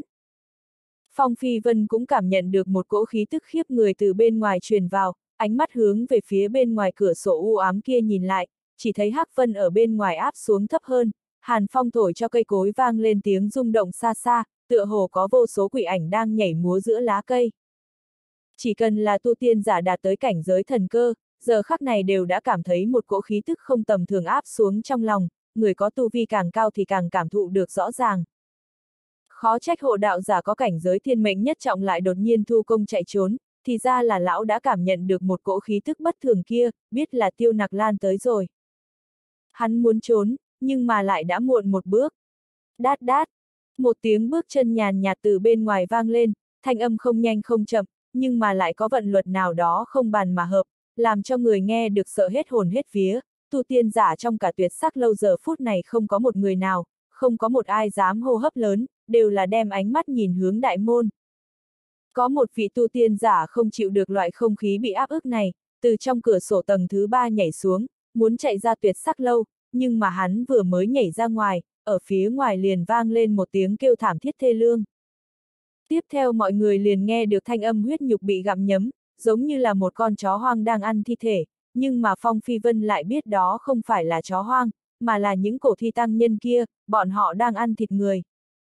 Nữ ma vẫn chưa đi vào tuyệt sắc lâu, nhưng mà lại đã tươi sống hù chết mấy người tu tiên nhát gan ở bên trong, thình thịch một tiếng liền ngã trên mặt đất, thân thể trở nên cứng đờ. Vô luận là người có tu vi thấp hay là tu vi cao, giờ phút này đều là cả người rét run, phảng phất chính mình đã tiến vào địa ngục. Chi nha! Đại môn sơn vàng của tuyệt sắc lâu chậm rãi bị đẩy ra, một cỗ âm vào cuốn vào, dưới thải đăng treo cao nhìn thấy một đạo bóng dáng thật dài đi vào trong hành lang, một cổ thi tăng nhân mặc đại hồng sắc cà sa từ bên ngoài đi vào. Áo cà sa trên người hết sức diễm lệ, như mới tinh mà lại lưu động linh quang, nhưng mà thân thể bên trong áo cà sa lại nám đen khô héo, có chỗ lại càng giữa nát thấu tâm, hiện ra bạch cốt lành lạnh. Trong đôi mắt của cổ thi tăng nhân mang theo kim sắc quang mang, quét mắt nhìn mọi người ở tại tràng một cái, chắp tay trước ngực, trong miệng niệm lên một tiếng Phật hiệu, một tiếng Phật hiệu này lại hết sức khô khốc, giống như thi ngữ. Trên bàn tay của hắn còn nhuộm máu tươi, mới vừa rồi chính là hắn dùng một cái tát đánh cho hộ đạo giả muốn chạy trốn văng trở lại. Đây là một tôn cổ thi đã trải qua lần thi biến thứ ba, tu vi sẽ không yếu hơn bao nhiêu so với cự kình. Hắn cung kính đứng ở trước đại môn của tuyệt sắc lâu, hai tay niết Phật ấn, khẽ khom người, tựa hồ có đại nhân vật nào đó sắp lên đài. Tác giả, mọi người có thể đối với cảnh giới như vậy có chút mơ hồ, để ta giải thích cho mọi người một chút. Đạt đến cảnh giới thần cơ là có thể được phong làm trưởng lão. Cảnh giới cự kinh là thiên mệnh đệ thất trọng, đệ bát trọng, đệ cửu TANGJ, ba cái tiểu cảnh giới này đều được gọi là cự kinh, chỉ bất quá tuyệt đại đa số cự kình đều dừng lại ở thiên mệnh đệ thất trọng. Về phần cảnh giới nửa tôn cự kình chính là thiên mệnh đệ lục trọng đỉnh phong. Hiện tại mọi người hẳn là có thể rõ ràng được một chút rồi. Thải đăng treo cao, tường ánh lên đèn cây đỏ. Dưới bóng đêm, một người đẹp mặc bạch sắc Phật y từ trong gió lạnh đi tới, trên trời bay xuống lá rụng, mặc dù không phải là thời tiết lá rụng nhưng lá lại vì nàng mà rơi. Không khí đều tựa hồ bị đông cứng lại, thân thể của tất cả tu tiên giả đều tựa hồ ngưng lại, ngay cả tim đập, ngay cả hô hấp đều trở nên chậm chạp, một đôi mắt toàn bộ đều hương về phía mỹ nhân tuyệt sắc ở ngoài đại môn nhìn chăm chú. Đây chính là ma nữ tay đầy máu tanh trong truyền thuyết sao. Không có người nào sẽ cho rằng nữ tử xinh đẹp cao nhã ở trước mắt này chính là ma đầu đồ diệt ức vạn sinh linh, bạch sắc Phật y không nhiễm một hạt bụi, tựa như bách hợp ngày mưa, thanh ti trên đầu được ngọc trâm bó lại, trên người không có một tia sát khí nào. Dần dần nàng đi vào tuyệt sắc lâu, từ bên người Phong Phi Vân đi sát qua, sau đó ngồi ở trên một cái ô mộc điêu long y trung ương nhất, một câu cũng không có nói ra. Nàng tựa hồ như đã quên đi Phong Phi Vân, căn bản không có lưu lại nửa điểm trí nhớ ở trong đầu, trong mắt một tia kỳ thải đều không thấy hiện lên. Nàng mặc dù không nói chuyện nhưng mà ở tại chàng cũng không có người nào dám nói, bao gồm cả hộ đạo giả của tần gia, vô hà công tử, lão ẩu trên tầng thứ bảy kia, tất cả mọi người đều nín thở, sợ quấy nhiễu đến một tôn ma đầu trong truyền thuyết này. Mặc dù không ai nói nàng chính là nữ ma, nhưng mà khi nàng ngồi ở trung ương đại đường, mọi người đều đã coi nàng trở thành nữ ma, không người nào dám hoài nghi. Yên tĩnh, sau khi tiêu nặc lan bước vào trong tuyệt sắc lâu, địa phương vốn là có thanh âm huyên náo nhất của cả phong hỏa liên thành liền biến thành địa phương an tĩnh nhất, an tĩnh đến có thể nghe được tiếng giao bán hàng của người bán rong trên đường cái bên ngoài. Thậm chí cũng không có người nào dám di động một chút cước bộ. Phong Phi Vân liền đứng ở trong hành lang, cách vị trí của tiêu nặc lan gần nhất, mặc dù cũng không khẩn trương đến cả người run run như những tu sĩ khác, nhưng mà lại cũng như mang nặng ở trên lưng, không cách nào giữ vững thong dong. Nhưng mà ở trong mắt của tất cả tu tiên giả tại tràng, hắn lại là một người thong dong nhất, chỗ dựa của hắn rốt cuộc đã tới, tất cả người đắc tội hắn tối nay đều không có kết quả tốt. Người có sắc mặt biến thành dọa người nhất không ai bằng được vị hộ đạo giả của tần gia kia, tim của lão đập cực nhanh, hai chân có chút không nghe sai khiến, cuối cùng là thanh âm có chút phát run mà nói. Nữ ma đại nhân, mới vừa rồi thật chỉ là một cái hiểu lầm, tần gia chúng ta cũng không có ý tứ đắc tội với ngươi. Tiêu nặc lan nhàn nhạt liếc hắn một cái, liền lại thu hồi ánh mắt, nói. Lấy đồ vật giao ra đây đi.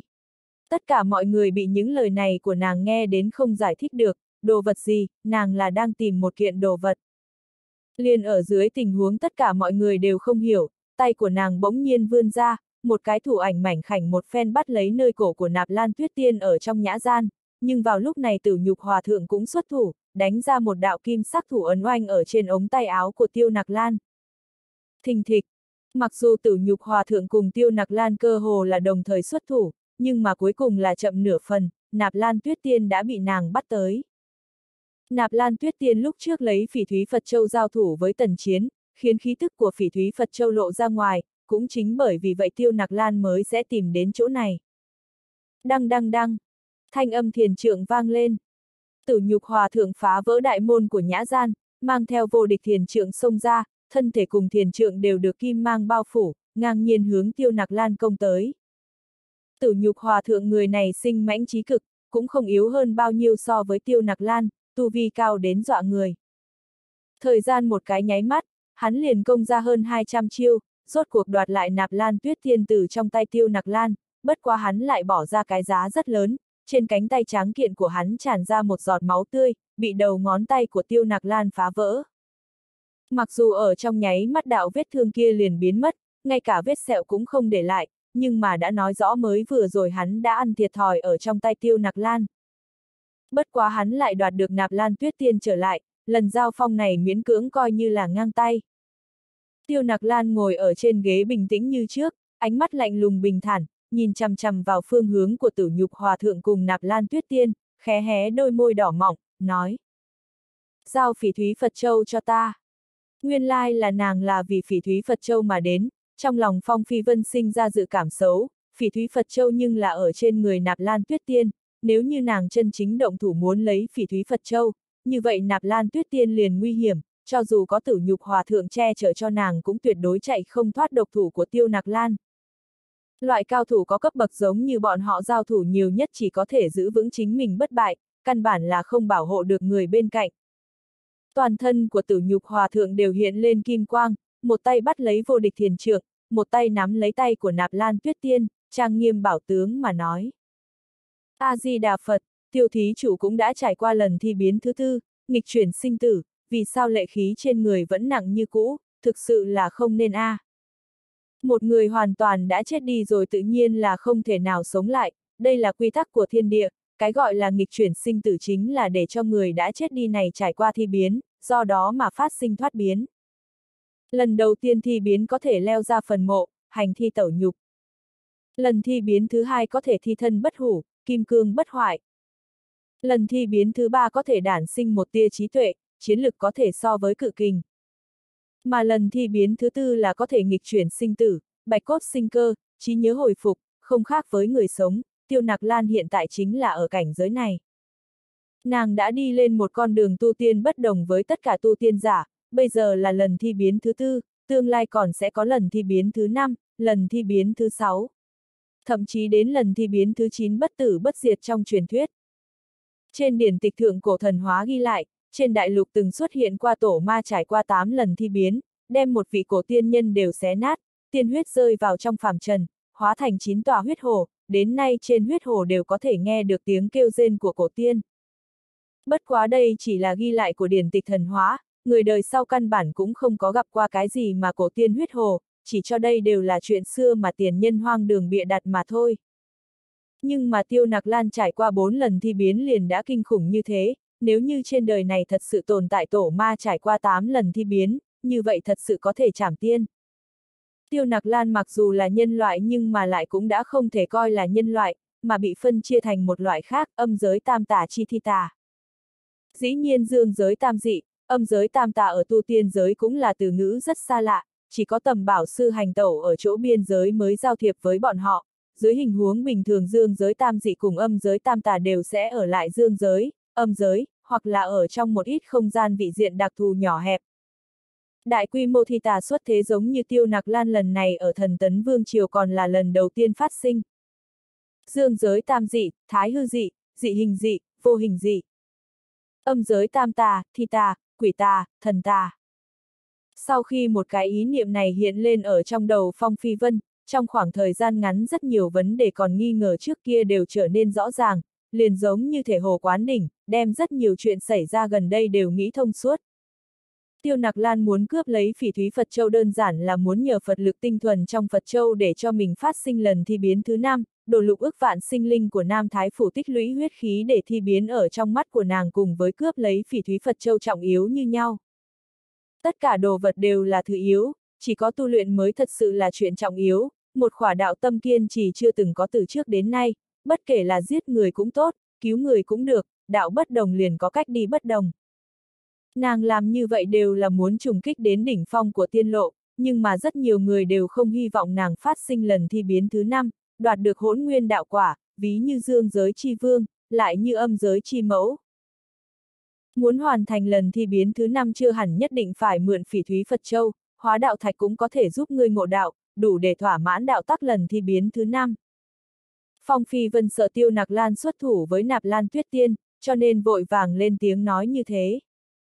Trừ tử nhục hòa thượng ra, căn bản không có bất luận kẻ nào dám mở miệng ở trước mặt tiêu nặc lan, đây là áp chế tuyệt đối của một vị thượng vị giả đối với hạ vị giả, cũng chỉ có linh hồn cường đại của Phong Phi Vân đạt đến loại tình trạng này mới có thể không nhìn áp chế của nàng.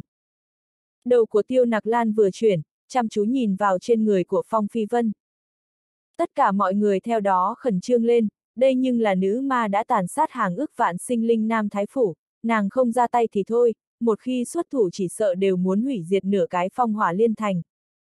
Tiêu nặc lan chậm rãi vươn ra ngọc thủ mảnh khảnh, một khối đá đỏ ngầu từ lòng bàn tay của nàng di động ra ngoài, giống như con mắt đẹp của nữ nhân. Là ngươi giao hóa đạo thạch cho ta. Tiêu nặc lan tựa hồ đối với phong phi vân sản sinh ra một tia ấn tượng.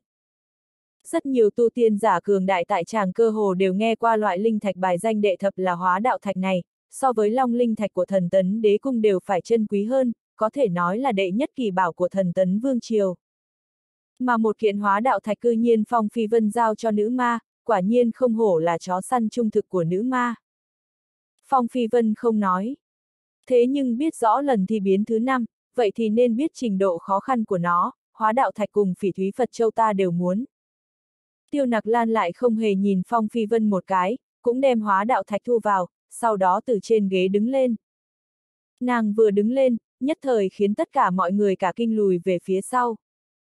Trong lòng Phong Phi Vân cũng là mạnh mẽ nhảy lên, cũng không phải là sợ nữ ma xuất thủ với hắn, mà là sợ nữ ma xuất thủ với nạp lan tuyết tiên. Đúng lúc này một đạo kim quang xuất hiện ở phía sau Phong Phi Vân, tử nhục hòa thượng mang theo nạp lan tuyết tiên lướt ngang qua, đứng ở phía sau người Phong Phi Vân ba thước. Trên khuôn mặt tràn đầy dữ tợn kia của tử nhục hòa thượng mang theo nụ cười kỳ dị, Phong Phi Vân bản năng cảm giác được một cỗ không ổn, muốn né tránh nhưng mà lại đã muộn một bước. Tử nhục hòa thượng người này rất không hiền hậu đạp vào lưng hắn một cước, đá hắn về phía tiêu nạc lan, sau đó mang theo nạp lan tuyết tiên xoay người bỏ chạy, trong nháy mắt liền chạy ra khỏi tuyệt sắc lâu, biến mất ở trong màn đêm, truyền đến tiếng cười lớn thưa thớt. Phong thí chủ, cảm ơn ngươi giúp hai người lão nạp thoát thân, nếu như ngươi bỏ mình, lão nạp nhất định sẽ vì ngươi tụng kinh ba ngày, siêu độ. Bảy ngày. Thanh âm càng ngày càng nhỏ, cuối cùng hoàn toàn biến mất. Con mẹ nó, lão tử. Phong Phi Vân bị tức đến không nhẹ. Một cước này của tử nhục hòa thượng đạp đến không nhẹ, Phong Phi Vân trực tiếp đụng vào trên người tiêu nặc lan, đụng phải một cái đầy đặn, đầu của hắn thiếu chút nữa liền đụng vào trên mặt tiêu nặc lan, may là ở thời khắc cuối cùng hắn khẽ nghiêng mặt, đầu lúc này mới ngừng lại ở trên vai thơm của tê. Một cái ôm này thật sự là chắc chắn, nếu không phải là trên lồng ngực có hai luồng giảm sóc thì xương sườn của Phong Phi Vân không bị đụng gãy hai cái là không thể. Tiêu nặc lan từ đầu đến cuối thủy chung đều không có nhúc nhích một chút, chỉ là vững vàng đứng ở nơi đó, ngay cả ánh mắt cũng không nháy một cái, cả đầu ngón tay cũng không nhúc nhích một chút. Một màn này kinh hãi tất cả mọi người tại tràng, Phong Phi Vân người này lá gan cũng quá lớn rồi, bất quá chỉ là một con chó săn của nữ ma lại dám ôm nữ ma không buông tay. Rất nhiều người đều đang lau mồ hôi lạnh trên trán, trong lòng đều cảm thấy Phong Phi Vân người này quá cố chấp rồi, Phong tao đến quá dọa người. Người khác ở trước mặt nữ ma thở lớn cũng không dám, mà hắn lại dám ôm. Ngay cả Phong Phi Vân giờ phút này ở trong lòng cũng cho là như thế, cái cầm đặt ở trên vai thơm bên phải của Tiêu Nặc Lan, có thể rõ ràng cảm giác được văn lộ trên áo, thậm chí là nhiệt độ nhàn nhạt từ trên tai cùng má của nàng truyền đến, không phải là nhiệt độ ấm áp mà là nhiệt độ lạnh như băng. Thân thể của nàng lạnh tựa như băng, căn bản không có nhiệt độ của con người. Hai tay của Phong Phi Vân động cũng không dám động, liền giữ vững tư thế như vậy, lưng đã bị mồ hôi lạnh khiến cho ướt đẫm, trong lòng không ngừng thì thầm, chết chắc, chết chắc. Trời ạ! À! Có người rốt cuộc phát ra tiếng sợ hãi than nhẹ nhẹ, lấy tay che miệng, không thể tin được hết thảy đang phát sinh trước mắt. Trên mặt La Lâm nhìn thấy có chút cười hả hê, lúc này còn không chết, cho dù ngươi là cẩu nô tài của nữ ma, dám khinh nhờn nữ ma như thế cũng nhất định sẽ bị bầm thây vạn đoạn, thật là báo ứng a. À. Cẩu nô tài của nữ ma chết ở trong tay nữ ma, nhất định là chuyện đại khoái nhân tâm. Đại, đại nghiêu, quá bá đạo rồi. Tuyệt đối là người đầu tiên trong thiên hạ dám ôm nữ ma, cho dù chết ở trong tay nữ ma cũng có thể lưu danh thiên cổ. Lưu thân sinh điên cuồng nuốt nước miếng một cái. Tim của Phong Phi Vân đập vô cùng nhanh, thanh âm tim đập truyền khắp cả tuyệt sắc lâu. Cho ta. Tiêu nặc lan nói. Cái, cái gì? Phong Phi Vân như cũng không dám nhúc nhích, lỗ tai nhẹ nhàng đụng với lỗ tai của tiêu nặc lan chung một chỗ, cầm vừa động liền cảm giác cọ sát vào da thịt ở trên bả vai nàng. Linh hồn của ngươi. Tay của tiêu nặc lan chậm rãi nâng lên, năm cái ngón tay mảnh khảnh hướng đầu của Phong Phi Vân ấn tới, tựa hồ thật muốn tiến vào trong đầu hắn, lấy ra linh hồn của hắn.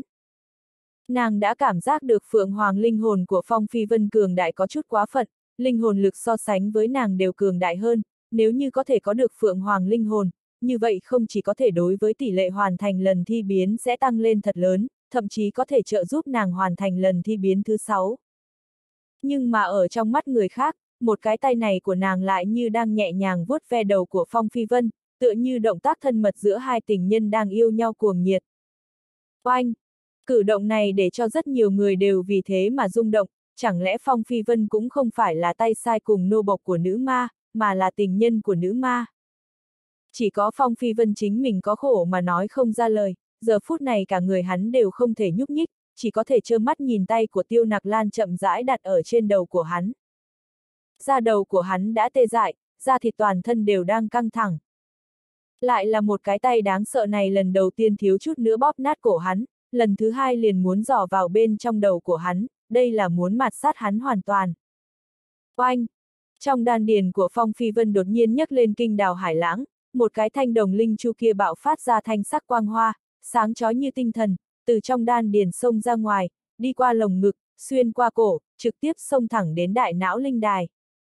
Linh thuyền lấy thân thể của Phong Phi Vân làm môi giới, lấy huyết nhục làm giang hà, lấy linh khí làm động lực, xông thẳng mà lên. Đang ở thời điểm tay ngọc thon dài của tiêu nặc lan đặt ở trên đầu của Phong Phi Vân, một con linh chu này cũng bỗng nhiên vào tới vị trí lòng bàn tay của nàng. Thân thể của tiêu nặc lan cùng Phong Phi Vân đều là hơi hơi chấn động, một đạo quang mang cực kỳ nhạt ở trong lòng bàn tay tiêu nặc lan chấp động, thiết bố thần phàm trên 18 mặt cổ xưa của thanh đồng linh chu chấn động, thế nhưng trường phong phá lãng, xông vào lòng bàn tay của nàng. Oanh! Linh chu từ trong thân thể của phong phi vân xông vào trong thân thể của tiêu nặc lan, chấn áp ở trong đan điền của nàng.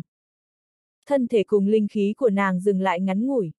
Ở trong một sát na này Phong Phi Vân bắt được cơ hội, từ trong ma trưởng của nàng chạy trốn ra ngoài, một cái lắc mình liền chạy ra khỏi đại môn của tuyệt sắc lâu, liền giống như hướng vào trong màn đêm chạy trốn.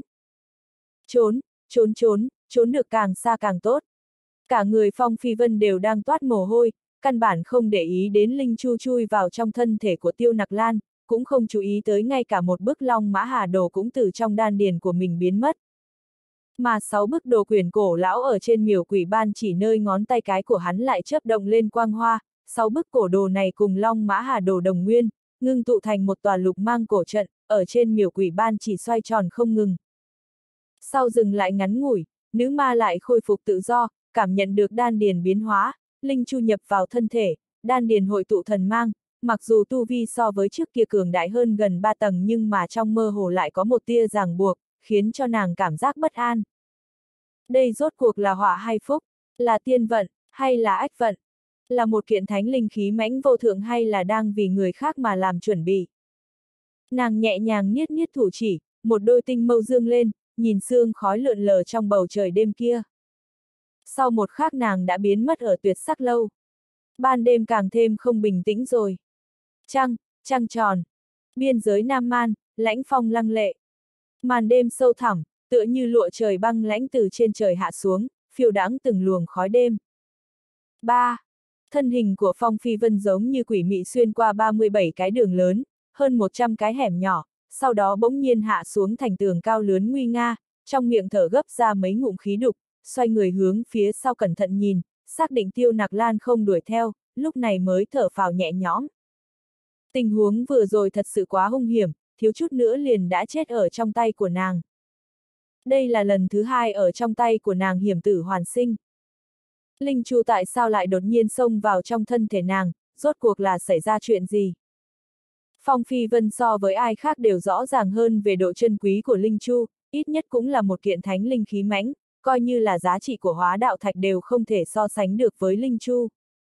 Hơn nữa Linh Chu còn liên quan đến đại bí khởi tử hồi sinh của hắn, nhất định phải đoạt lại nó từ trong tay của Tiêu Nặc Lan. Miểu quỷ ban chỉ trên ngón tay Phong Phi Vân đã khôi phục bình tĩnh, sáu bức thần đồ cổ lão lại biến thành sáu chữ cổ khác ở trên mặt ban chỉ, lộ ra vẻ bình thản tự nhiên. Không đúng. Thủ trưởng của Phong Phi Vân khẽ vận linh khí, nhất thời sinh ra một đoàn thảm lục sắc thi hỏa, một trường đạt ở trên tường thành cổ xưa, hô, tường thành cổ xưa bị hỏa diễm đốt cháy phát ra thanh âm suy suy, toát ra khói đặc màu đen, trong một sát na liền đốt ra một cái rãnh to cao hai thước, sâu một thước. Đây nhưng là thành tường của phong hỏa liên thành, giữa cự thạch khác vào vô số trận pháp, coi như là nhất muội nguyên hỏa cũng rất khó tạo thành lực phá hoại lớn như thế. Cái thi hỏa đột nhiên xuất hiện này là có chuyện gì xảy ra? Phong Phi Vân mặt liền biến sắc, không để ý nhiều mà vượt tường chạy ra khỏi phong hỏa liên thành, trước khoanh chân ngồi trên mặt đất, hai tay đặt ở chỗ đan điền, thu tâm thần vào trong thân thể, chìm vào chỗ đan điền. Đan điền chia làm thượng đan điền, trung cung, hạ đan điền. Ở trước kia đạt tới cảnh giới thiên mệnh, tu tiên giả tu luyện đều là thượng đan điền, chỉ có đột phá thiên mệnh sinh tử đại quan, đạt tới cảnh giới thiên mệnh đệ nhất trọng mới có thể phá vỡ đan điền chi hải, mở ra tử phủ của trung cung. Thượng đan điền cũng được gọi là đan điền chi hải, minh mông cuồn cuộn, hà quang vạn trượng, vốn là linh chu liền trôi lơ lửng ở trên đan điền chi hải, long mã hà đồ huyền phù ở trên linh chu. Nhưng mà linh chu biến mất, long mã hà đồ cũng đã biến mất. Chỉ có một viên thần cơ lớn chừng hạt gạo đang huyền phù ở trên đan điền chi hải, bộc phát ra thần quang chói mắt, tràn đầy linh khí nồng nặc. Không, không đúng. Trừ thần cơ ra, còn có một tòa thi cung, một tòa bạch cốt cung điện tinh xảo lớn chừng bàn tay. Đây là nội cung của thi tà, chỉ cần hoàn thành lần thi biến đầu tiên, trong thân thể của thi tà sẽ tu luyện ra một tòa thi cung. Thi cung liền giống như đan điền của tu tiên giả, chính là chỗ chứa đựng linh khí bản nguyên, một khi thi cung bị móc ra từ trong cổ thi, vậy vị thi tà này liền mất đi tinh khí, biến thành một cỗ thi thể chân chính, chọn đời ngủ say. Một tòa thi cung này mở ra bốn đạo môn hộ, hiển nhiên là nội cung của một vị thi tà đã trải qua bốn lần thi biến. Hai mắt của Phong Phi Vân bỗng nhiên mở ra, bắn ra hai đạo lục quang tà dị, khiến một chút sinh vật không biết ở trong bóng tối đều sợ hãi mà chạy trốn, phát ra thanh âm chạy trốn tê tê. Linh Chu cùng Long Mã Hà Đồ bay vào trong thân thể của Tiêu Nặc Lan, mà bổn nguyên thi cung của Tiêu Nặc Lan lại bay vào trong đan điền của ta, đây rốt cuộc là xảy ra chuyện gì? Sắc mặt của Phong Phi Vân cấp tốc biến hóa, thỉnh thoảng suy nghĩ sâu hơn, thỉnh thoảng do dự, thỉnh thoảng thư giãn. Lúc ấy rốt cuộc xảy ra chuyện gì, chí bảo bản nguyên đan điền của hai người tại sao lại phát sinh chuyển đổi. Phong Phi Vân có gắng hồi tưởng lại chi tiết xảy ra lúc ấy, nhưng mà lại cho ra một cái đáp án, đây tuyệt đối không phải là do tiêu nặc lan cố ý gây nên, bởi vì thi cung là bổn nguyên của nàng, chỉ có thi cung ở trong thân thể, nàng mới có thể hoàn thành lần thi biến thứ năm, bước lên tầng thứ cao hơn của tiên lộ. Chẳng lẽ hết thảy cái này đều là do thanh đồng linh chu kia đang tác quái? Thanh đồng linh chu này thật sự quá quỷ dị, từ khi Phong Phi Vân ở trên đường Hoàng Tuyền gặp được nó, chuyện quỷ dị liền liên tiếp phát sinh, một con thái cổ thần thuyền so với núi cao còn phải khổng lồ hơn thế nhưng chui vào trong đan điền của mình, trong thuyền rốt cuộc có đồ vật gì? Nó từ đâu mà đến? Nó tại sao lại phi hành ở trên đường Hoàng Tuyền? Hết thảy tất cả đều là một câu đố. Tiêu Nặc Lan muốn thu hồi bổn nguyên thi cung, Phong Phi Vân lại như thế nào không muốn thu hồi Linh Chu. Lực lượng thật khổng lồ. Phong Phi Vân có thể cảm nhận được thi tà chi lực ẩn chứa ở trong thi cung, đặc biệt là thi tà chi hỏa ẩn chứa ở trong đó quả thực kinh khủng trí cực. Mới vừa rồi Phong Phi Vân chỉ là vận chuyển một tia, liền ở trên thành tường đốt ra một cá hố cự đại, nếu như toàn lực mà làm, rất có thể đốt cho thành tường cao đến trăm trượng thành bụi bay. Đây là hỏa diễm do thi tà trào qua thi biến lần thứ tư dựng dục, hẳn là so với nhị muội minh hỏa còn phải đáng sợ hơn. Trên ngón tay của Phong Phi Vân hiện ra một luồng thảm lục hỏa diễm, đốt cho không khí trở nên vặn vẹo, chút ít bụi cây đen nhánh cao lớn ở chung quanh lại càng phát ra thanh âm tốc tốc, phiến lá cũng bắt đầu khô héo cuốn lại. Đát đát, trong bụi cỏ cách đó không xa truyền đến tiếng vang rất nhỏ. Ánh mắt của Phong Phi Vân ngưng tụ, trực tiếp đem thi hỏa ở trong tay ném ra một luồng, rơi vào trong bụi cỏ kia, lập tức liền truyền đến tiếng kêu thảm thiết giống như heo bị giết. Mẹ nó, đây là hỏa diễm gì, làm sao đáng sợ như thế, thiêu chết lão phu rồi. Một con bạch sắc tiểu ô quy từ bên trong liều mạng chạy ra, không ngừng kêu lên thảm thiết, thi hỏa đều đốt đến cái đuôi của nó trở thành nám đen, phát ra từng trận nhục hương. Mao ô quy. Phong Phi Vân thì thầm. Mao ô quy nhưng là linh thú tu luyện mấy ngàn năm, năng lực phòng ngự của thân thể có thể nói là đệ nhất thiên hạ, cho dù là sau khi Phong Phi Vân hợp thể đều có thể làm được phòng ngự đệ nhất dưới cự kình, nhưng mà giờ phút này nó vẻn vẹn chỉ là bị thi hỏa sát thương một tia, cái đuôi đã bị đốt trụi, bởi vậy có thể thấy được sự đáng sợ của thi hỏa kia. Mặt đất bên trong mấy thước đều bị đốt thành mặt gương màu đen, bùn đất còn trở nên cứng rắn hơn so với sắt thép. Cũng không phải là lão nhân gia ta, tiểu tử mới vừa rồi đánh ra là hỏa diễm gì, làm sao đáng sợ như thế. Chẳng lẽ là nhị muội minh hỏa thu được từ thâm uyên dưới lòng đất. Cái đuôi của Mao ô quy vùi ở trong bùn đất, lúc này mới không còn cảm giác đau. Phong Phi Vân cũng không muốn để cho người khác biết thi cung của Tiêu Nặc Lan chui vào trong đan điền của hắn, bằng không những cao thủ muốn đối phó với Tiêu Nặc Lan khẳng định đều sẽ toàn bộ đuổi giết hắn. Chỉ cần có thể mạt sát Phong Phi Vân, cướp đi thi cung trong thân thể của hắn, như vậy Tiêu Nặc Lan liền vĩnh viễn cũng không có cách nào đạt đến lần thi biến thứ năm. Rất nhiều người đều không muốn Tiêu Nặc Lan hoàn thành lần thi biến thứ năm. Không chỉ không thể bại lộ thi cung, thậm chí ngay cả thi hỏa cũng phải cấm sử dụng, miễn cho bị một ít trí sư cường đại suy tính ra đầu mối. Mặc dù có thể sử dụng một tia thi hỏa, lực phá hoại kinh người, nhưng nếu như cao thủ cấp bậc thiên mệnh muốn giết hắn, hắn như cũ rất khó tạo thành thương tổn chân chính cho đối phương. Tranh lệch về tu vi thật sự quá lớn, căn bản không phải một hai dạng sát chiêu là có thể nghịch thiên thay đổi chiến cuộc. Tốc độ di động của người khác cực nhanh hoàn toàn có thể vượt qua tốc độ người đánh ra thi hỏa. Cho nên không phải là vạn bất đắc dĩ quyết không thể sử dụng thi hỏa.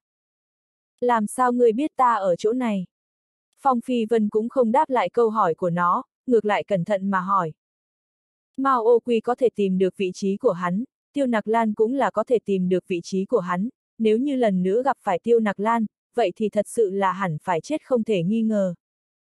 Lão Phu cùng ngươi từng có duyên phận hợp thể, đối với huyết khí trên người của ngươi thật sự quá quen thuộc, muốn tìm được ngươi cũng không khó. Mao Ô Quy nói. Sắc mặt của Phong Phi Vân nhất thời tối sầm lại, nói. Em gái ngươi mới có duyên phận hợp thể với ngươi. Khụ khụ. Mao Ô Quy tựa hồ cũng ý thức được mình nói sai, ở trên mặt đất nôn ra hai ngụm quy thiền hương, lại nói. Tiểu tử, người cùng tiêu nặc lan rốt cuộc là có quan hệ như thế nào? Hiện tại tất cả mọi người cảm thấy quan hệ của Phong Phi Vân cùng tiêu nặc lan không giống bình thường.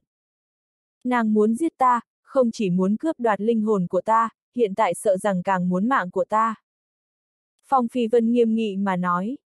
Mao ô quy tự nhiên không tin lời của hắn, nói. Ngươi đã không muốn nói, ta đây cũng không miễn cưỡng ngươi. Nhưng mà ta vẫn muốn báo cho ngươi, tốt nhất là cách xa nàng một chút, nếu không ngươi sẽ đắc tội với rất nhiều ngoan nhân kinh thiên động địa. Tu vi của nàng cường đại tự nhiên không sợ những hung nhân này, nhưng mà ngươi. Cho dù chết rồi lại cũng không biết là người nào giết ngươi. Trong đôi mắt nhỏ như hạt đậu của Mao ô quy lộ ra vẻ ngưng trọng, nghĩ tới mấy nhân vật đáng sợ kia, không nhịn được đem đầu co lại ở trong mai rùa. Điểm này căn bản không cần Mao ô quy nói, Phong Phi Vân tự nhiên cũng muốn cách tiêu nặc lan càng xa càng tốt. Đúng rồi, một đầu tuyết điểu chiến hồn kia đâu rồi? Phong Phi Vân rõ ràng nhìn thấy Mao ô quy bị tuyết điểu chi hồn đánh bay ra, đầu tử ô quy này làm sao chạy ra được? Bị ta ăn rồi. Mao ô quy nghiêm túc nói. Bị ngươi ăn. Phong Phi Vân có chút không tin lời của nó, dù sao đó là một đầu dị thú chiến hồn đạt tới 500 năm, mà không phải là một con ma tước. Lừa ngươi, ta theo họ của ngươi. Mao ô quy tức giận mà nói. Ách, ngươi vẫn chớ là dùng họ của ta thì tốt hơn. Phong Phi Vân sờ sờ đầu mũi. Mao ô quy nếu như cùng họ với hắn, liền gọi là Phong ô quy rồi. Phong Phi Vân nhìn lên ngôi sao trên bầu trời, trời sắp sáng rồi, thân phận của yêu ma chi tử bại lộ, ở trước lúc hừng đông, mười mấy nghịch thiên tài tuấn kia của trừ ma liên minh khẳng định đều sẽ nhận được tin tức, toàn bộ hướng về phong hỏa liên thành chạy tới. Tần Chiến chỉ là một trong những người yếu nhất của trừ ma liên minh, người cường đại chân chính nói không chừng cũng đã ở trên đường chạy tới rồi. Giết yêu ma chi tử, danh chấn thiên hạ. Hiện tại tiêu nặc lan chỉ sợ cũng đang tìm hắn, muốn đoạt lại bổn nguyên thi cung, hiện tại thật sự là bốn bề thọ địch, sát cơ chen nhau mà đến. Phong hỏa liên thành mặc dù là ở biên cương, hàng năm chiến loạn, nhưng mà lại ở vào chỗ giao giới của ba nước, tiềm long ẩn nấp, ác nhân ẩn cư, vĩnh viễn đều là náo nhiệt như vậy, mỗi ngày đều có tu tiên giả bất đồng trang phục, trưởng thành có tướng ngọa cùng da thịt khác nhau đi vào cửa thành. Ông! Sáng sớm, hồng trung trong thành phát ra chín tiếng vang liên tục, thành môn cự đại bốn phía mở ra, một ngày mới đã đến. Trên đường phố còn tràn đầy sương mù, kiến trúc cùng phòng ốc hai bên cửa lớn đóng lại, chủ nhân bên trong đều còn đang tu luyện, hy vọng trùng kích vào cảnh giới tiên đạo càng cao hơn. Sáng sớm là thời gian tu luyện tốt nhất của một ngày. Phong Phi Vân ở trong một gian khách sạn bình thường, đã ở trong phong hỏa liên thành né tránh ba ngày, cho tới bây giờ đều chưa ra khỏi cửa. Ba ngày trôi qua, phong hỏa liên thành cứ bình tĩnh như cũ, tiêu nặc lan cũng không có tìm đến, bình tĩnh đến thật sự có chút quá phận, mặc dù đối với tiêu nặc lan hết sức kiêng kỵ, nhưng mà phong phi vân cũng đã không thể lại trốn ở đó. Chín ngày đã đi qua một phần ba rồi, hắn phải đi tìm tả thiên thủ, bằng không thì hắn đợi được nhưng quý gia huynh muội cũng đợi không được.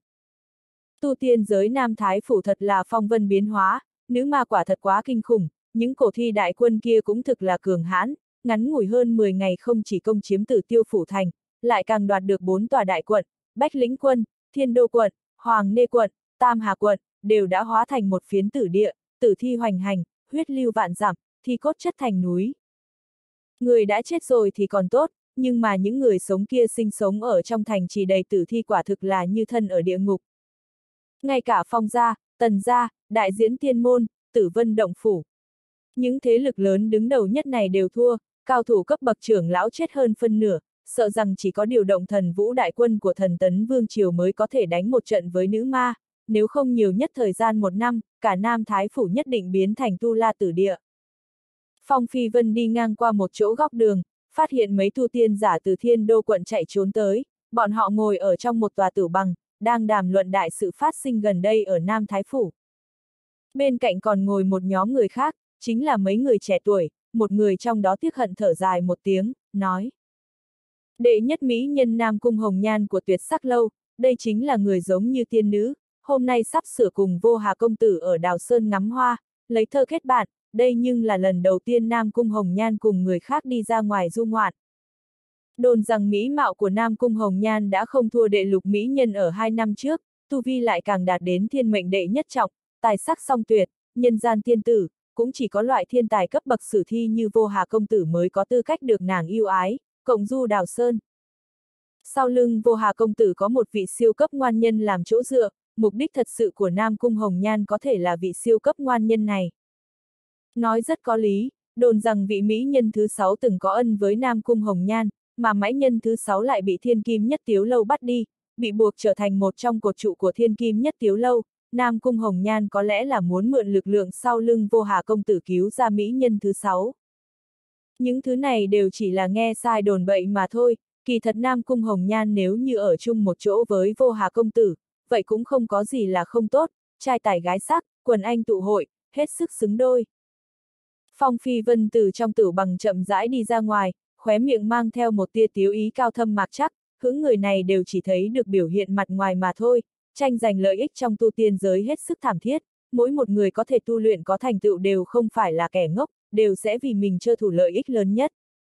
Bất kể là Nam Thái phủ biến đổi lớn kinh thiên, hay là Nam Cung Hồng Nhan cùng vô hà công tử nâng ly cộng du đạo sơn, những thứ này đều chỉ là một cái dấu hiệu biểu hiện mặt ngoài, thứ ở sâu trong đó căn bản không phải là những tu tiên giả bình thường này có thể lý giải được. Những chuyện này đều không liên quan đến Phong Phi Vân, hắn căn cứ vào đại chỉ theo lời lão bất tử tam đương ra kia tìm được chỗ ở của tả thiên thủ. Nơi này ở trong xóm nghèo của phong hỏa liên thành, một phiến lớn đều là phòng ốc thấp bé, cư ngụ mấy chục vạn tu sĩ long xà hỗn tạp, nơi này hết sức hỗn loạn, có thi thể của người mới bị giết đêm qua còn treo trên vách tường, có chân gãy cùng tay gãy đang nổi lơ lửng trong khe nước, mang theo chút vẻ máu tanh. Phong Phi Vân dẫm ở trong hẻm nhỏ rách nát, trên mặt đất tràn đầy máu khô, đầu mũi lúc nào cũng tràn ngập một cỗ huyết tinh vị nồng đậm, hiển nhiên nơi này thường xuyên phát sinh chuyện giết người đổ máu. Chi nha! Bên cạnh một đạo cửa gỗ mở ra, một đại hán mặt đầy dữ tợn từ bên trong đi ra, trên mặt còn mang theo dâm tiếu, xích lõa nửa thân trên, hướng về một thiếu nữ xinh đẹp nơi cửa gỗ nói. Người cái đứa nhỏ phóng đãng này, thật là đủ lẳng lơ, ngày mai mới tới lượt thương ngươi. Đại hán này khẽ liếc về phía Phong Phi Vân, trong một đôi ánh mắt tròn trịa hiện lên mấy đạo tinh mang, nhận ra trên người Phong Phi Vân mang theo khí thức bất thường, không phải là dê béo dễ trêu, cho nên liền hừ nhẹ một tiếng, nghênh ngang rời đi. Cư nhiên là tu sĩ tiên căn sơ kỳ, trong phong hỏa liên thành quả nhiên đều không phải là người bình thường, trong lòng Phong Phi Vân thầm nghĩ. Tiểu ca, lớn lên thật tuấn tú, có muốn tới một phát hay không, chỉ cần 20 cái ngân tệ. Thiếu nữ kiều mị ở trong cửa gỗ kia đại khái là 15, 16 tuổi, lớn lên coi như là thượng đẳng, trong thân thể lưu động linh quang, hiển nhiên cũng là một người tu tiên. Nàng hướng về phía Phong Phi Vân ném ra mị nhãn, áo trên vai thơm trắng noãn đang còn có chút xốc xếch, nhưng mà lại đã bắt đầu kiếm khách. Trong đôi mắt Phong Phi Vân sinh ra hai luồng hỏa diễm, chỉ là nhìn chằm chằm vào nàng một cái, nhất thời khiến cho cả người nàng chấn động, sắc mặt trắng bệch, liền đóng mạnh cửa lại, bị dọa đến không nhẹ. Tu vi của Phong Phi Vân khiến cho nàng cảm giác đáng sợ, loại cường giả cấp bậc này không phải là nàng có thể câu dẫn, người khác cũng không muốn nhìn nàng. Phong Phi Vân tiếp tục hướng về phía trước, rốt cuộc đi tới chỗ ở của tả thiên thủ. Ở trong miêu tả của Tam Đương gia, tả thiên thủ này nhưng là một nhân vật tương đối cố chấp, trong thiên hạ không có một cái khóa nào mà hắn mở không ra, không có trận nào mà hắn không phá được, ngay cả thần đô đại ngục đều không giam được hắn, bị hắn trốn thoát từ trong đó. Nhưng mà chính bởi vì như thế hắn mới không thể không chạy trốn tới phong hỏa liên thành, mai danh ẩn thích. Nếu muốn giải khai mấy cái bách mạch long tỏa trên người, liền phải dựa vào cao nhân lánh đời này. Tả thiên thủ, tả tiền bối nhưng có ở nhà không? Phong Phi Vân cất giọng mà nói. Bên trong không có bất kỳ thanh âm nào truyền tới, tựa hồ căn bản là không có người, nhưng mà Phong Phi Vân lại có thể cảm ứng được bên trong có thanh âm hô hấp của người sống. Tại hạ là phụng mệnh của Hoàng Phong lĩnh Tam Đương gia, thỉnh tiền bối đến Hoàng Phong lĩnh một chuyến. Phong Phi Vân lại nói. Thình thịch, đại môn bỗng nhiên mở ra, bên trong đi ra một cái độc tí lão nhân, hắn chỉ có một cái tay trái, già nua đến không còn hình dáng, nói. Lão gia hỏa phong độc cô kia như thế nào đột nhiên nhớ tới ta, không phải là còn đang nhớ thương vạn tượng trận đồ của ta sao? Độc tí lão nhân ngẩng đầu, nhìn chằm chằm vào phong phi vân một cái, hai người đồng thời kinh hô một tiếng. Là tên lừa đảo ngươi. Phong phi vân đột nhiên lui về phía sau một bước. Độc tí lão nhân tả thiên thủ lại trực tiếp xông tới, một phát bắt được y phục của phong phi vân, nói. Tiểu tử thúi, ta lừa ngươi sao? Đem một khối hóa đạo thạch của ta đều lừa được rồi, hiện tại liền bồi thường cho ta. Độc tí lão nhân này chính là lão lừa đảo mở hàng ở vỉa hè, đem một khối hóa đạo thạch lấy giá trị một mai tiền đồng bán cho Phong Phi Vân, đến nay hắn cũng còn đau lòng đến muốn chết, mỗi lúc trời tối đều ở trong mộng kêu rên mấy tiếng. Đây chính là một khối hóa đạo thạch A, coi như là tích đức ba đời cũng không cách nào đụng vào tiên duyên như thế, nhưng mà rõ ràng hóa đạo thạch đều đã rơi vào trong tay của hắn, lại bởi vì một niệm sai lầm của hắn mà bán rẻ cho Phong Phi Vân. Thiên hạ còn có ai thảm hơn so với hắn? Hóa đạo thạch đã không ở trong tay ta rồi. Phong Phi Vân cười nói. Độc tí lão nhân tự nhiên sau khi biết chuyện đã phát sinh, hóa đạo thạch đã đổi chủ, nhưng mà hắn như cũ nuốt không trôi khẩu khí này, trong lòng đang dỉ máu, chậm rãi thả vạt áo của Phong Phi Vân ra, không ngừng lắc đầu thở dài, thò tay ra liền tát lên trên mặt của mình một cái. Ta không nên hèn hạ a, làm xoa lại gặp được tên lừa đảo như ngươi, người đi lừa đảo cả đời, đây còn là lần đầu tiên bị lừa. Ba, Hắn lại là tát lên trên mặt mình một cái, trong lòng hối hận không thôi. Tiền bối cũng không cần hối hận như thế, tương lai nói không chừng có thể có được tiên bảo tốt hơn. Phong Phi Vân có việc cầu người, cho nên lên tiếng an ủi. Cái rắm, ngươi cho rằng hóa đạo thạch là cải trắng ngoài chợ à? Thôi, thôi, tiểu tử, lão ngoạn ý phong độc cô kia rốt cuộc là có tâm tư gì chuyên môn tìm ngươi đến lừa ta, sau đó lại mời ta đến Hoàng Phong lĩnh tiếp tục lừa ta. Tả thiên thủ run run rẩy rẩy đứng ở nơi đó, khom cái lưng gù, cánh tay phát run, hai chân hơi cong, giống như đao cũng đều không cầm được, đường đều đi không được. Phong Phi Vân thật hoài nghi hắn đến cùng có phải là tả thiên thủ hay không, tả đoạn thủ còn không sai biệt lắm. Tự nhiên không phải là như vậy, chúng ta mời tiền bối đi Hoàng Phong lĩnh là có chuyện muốn nhờ. Phong Phi Vân mặc dù hoài nghi năng lực của người tàn phế này nhưng mà lại cũng còn là cung kính nói. Có việc muốn nhờ. Tả thiên thủ tự mình lẩm bẩm một câu, con người đảo một vòng, xoay người rời đi vào trong đại môn, thình thịch một tiếng đóng cửa lại. Tiền bối, người đây là có ý gì? Phong Phi Vân nói. Không có ý gì, không đi, tiểu tử ngươi cút đi. Loại chuyện giúp đỡ này rất lâu trước kia ta đã bỏ rồi, ai tới mời ta đều không hữu dụng. Thanh âm của tả thiên thủ từ bên trong truyền đến. Đã sớm nghe nói tính cách của tả thiên thủ rất quái lạ, giờ phút này Phong Phi Vân cuối cùng là lãnh giáo rồi. Muốn mời một người hỗ trợ, như vậy liền nhất định phải đúng bệnh bốc thuốc, hợp ý, tả thiên thủ chính là trận pháp đại sư, tự nhiên là đối với trận pháp có nghiên cứu cuồng nhiệt. Phong Phi Vân cười nói. Đều nói thiên hạ không có trận pháp nào mà tả thiên thủ không phá được, nhưng mà ta cũng không tin. Nói xong lời này, chân của Phong Phi Vân liền nhẹ nhàng dẫm lên mặt đất một cái, thân thể bay vọt lên, đứng ở trên tường thấp cao ba thước, hai tay vươn ra, vẽ ra một linh khí quyển vòng tròn, huyền phù ở trong không khí. Ngón tay ở trên linh khí quyển khắc ra từng đạo thanh sắc văn lộ vặn vẹo, mỗi một đạo văn lộ đều bày ra vận luận yêu dị, tổng cộng khắc ra 360 đạo văn lộ, đem linh khí quyển khắc thành một tòa trận thai huyền không. Trận pháp vừa thành, linh quang càng thêm huyễn lệ, tựa như một vầng thanh sắc thái dương xoay tròn. Đây chính là Phong Phi Vân lấy thủ đoạn của Phượng Hoàng yêu tộc khắc xuống trận pháp, dùng hợp thủ pháp sĩ tốt luận, cùng khắc ra nhị cấp công trận. Oanh long long.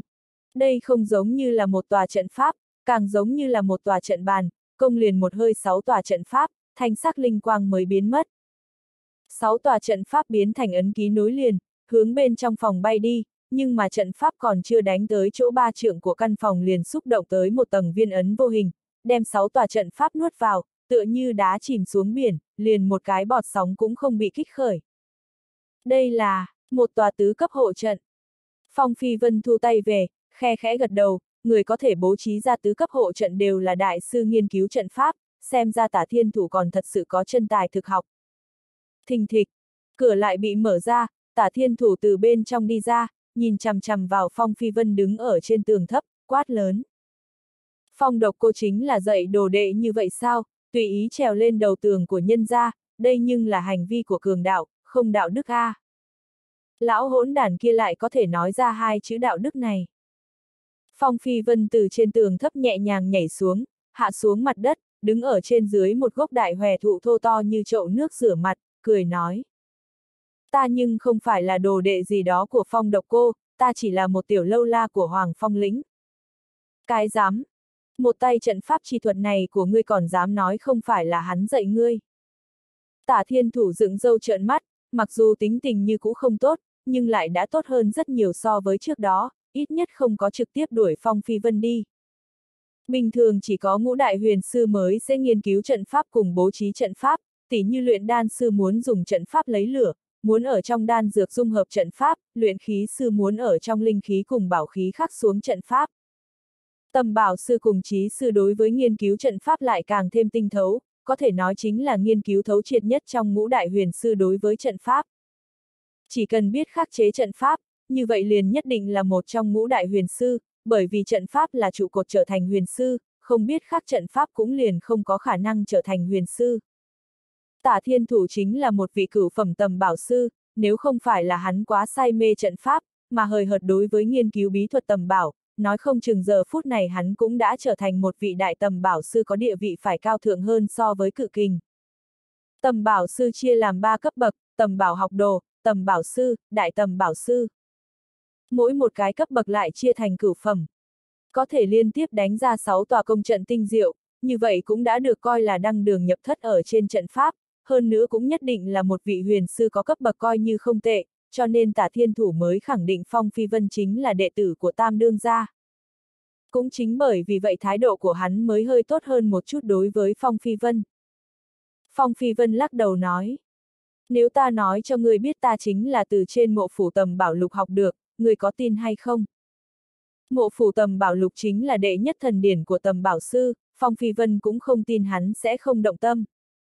Quả nhiên sau khi tả thiên thủ nghe được năm chữ mộ phủ tầm bảo lục này, sắc mặt nhất thời biến đổi, gương mặt vốn là nghiêm túc cũng trở nên nhu hòa không ít, cả khuôn mặt giãn ra, cười nói. Mộ phủ tầm bảo lục nhưng là chia thành ba cuốn, không biết trận pháp này của ngươi chính là học được từ trên cuốn nào. Ba cuốn mộ phủ tầm bảo lục đều là thần bảo vô thượng, hơn nữa đều được nắm giữ ở trong tay ba hung nhân khó lường, làm sao có thể bị một tiểu bối học được, tả thiên thủ sở dĩ hỏi như thế cũng là muốn thử thăm dò Phong Phi Vân. Phong Phi Vân thông minh bực nào, làm sao có thể không biết được suy nghĩ trong lòng hắn, cho nên nửa thật nửa giả mà nói. Bát thuật quyển. Bát thuật quyển, làm sao ngươi có được?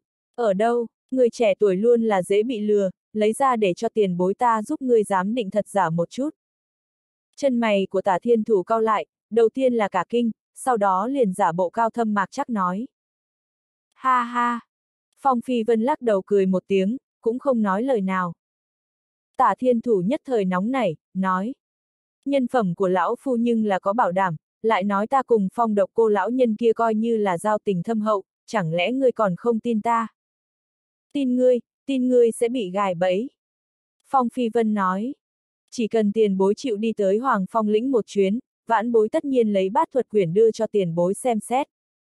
Bát thuật quyển chính là điển tịch mà tầm bảo sư tha thiết ước mơ, tả thiên thủ đã là cửu phẩm tầm bảo sư, nếu như có thể được xem bát thuật quyển, rất có thể sẽ đánh sâu vào cấp bậc đại tầm bảo sư, hắn tự nhiên là cầu còn không được. Tả thiên thủ lão này quả thực chính là một lão hồ ly, tự nhiên không thể nào bị Phong Phi Vân nói lung tung mà động tâm, âm trầm cười nói.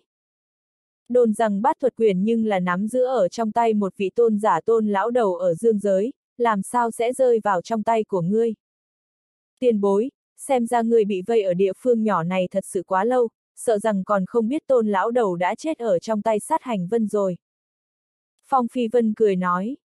Không thể nào, sát hành vân ở trong các đại tôn giả của dương giới ngay cả xếp hạng trước 10 đều không tới, mà tôn lão đầu dù nói thế nào cũng từng là đệ tam tôn giả của dương giới, tu vi kinh thiên động địa, sát hành vân làm sao có thể là đối thủ của hắn. Tả thiên thủ là một vị cửu phẩm tầm bảo sư, thường xuyên giao thiệp với chút ít ngoại tộc kia của dương giới, thậm chí còn từng đi qua dương giới hai lần, đối với cao thủ của dương giới cũng biết không ít. Tiền bối trốn ở phong hỏa liên thành này đã bao lâu? Phong Phi Vân hỏi. 184 năm. Tả thiên thủ đều đối với mấy con số cực kỳ mẫn cảm, nhớ được tương đối rõ ràng, xác thực mà nói, bất kỳ một gã huyền sư nào đối với con số đều sẽ rất mẫn cảm. Phong Phi Vân hơi hơi kinh ngạc, lão gia hỏa này nguyên lai cư nhiên sống lâu như vậy rồi, còn là lão ngoan cố sông tới mấy trăm năm, nói. Thời gian 184 năm quá lâu dài rồi, tu tiên giới cũng đã đổi tới ba đời, bao nhiêu người cường thế quật khởi, lại có bao nhiêu tiền bối cao nhân bởi vì đại nạn buông xuống mà khí huyết suy thoái. Sát hành vân đã sớm không phải là sát hành vân của 184 năm trước, hắn có thể đánh bại tôn lão đầu đã ở tuổi già cũng không phải là chuyện không thể nào. Tôn lão đầu đúng là đã từng huy hoàng, khi đó cho dù 10 sát hành vân cũng không phải là đối thủ của lão, nhưng mà mỗi người đều có thời điểm già đi, thời điểm một người sắp đi vào phần mộ đều sẽ rất suy yếu, sát hành vân chọn đúng thời gian này mà hạ thủ với lão.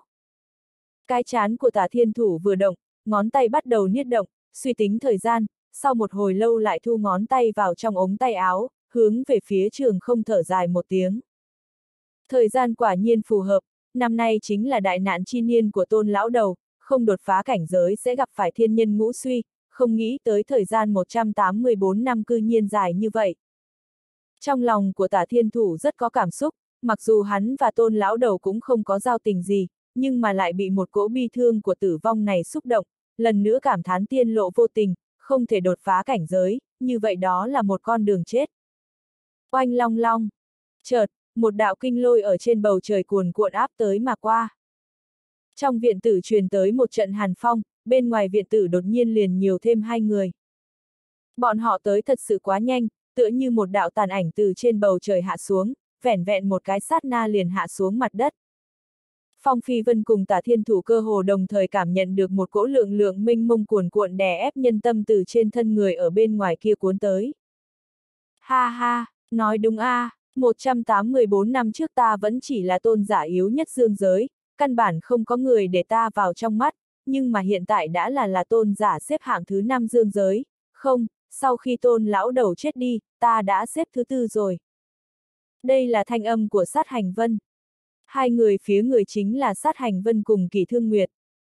Sát hành vân toàn thân đều bị hắc sắc trường bào bao phủ, giữa khe hở hắc bào còn tràn ra hắc sắc vân vụ, căn bản không có người nào có thể thấy rõ bộ dạng của hắn là như thế nào. Mà kỳ thương nguyệt bị ba vòng hắc sắc yên vụ bao phủ, liền giống như ba đạo khóa sắn quấn ở trên người nàng, căn bản không thể động đậy, chỉ là trong mỹ mâu đối với sát hành vân tràn đầy sợ hãi cùng chán ghét, nhưng mà lại căn bản không cách nào chạy trốn.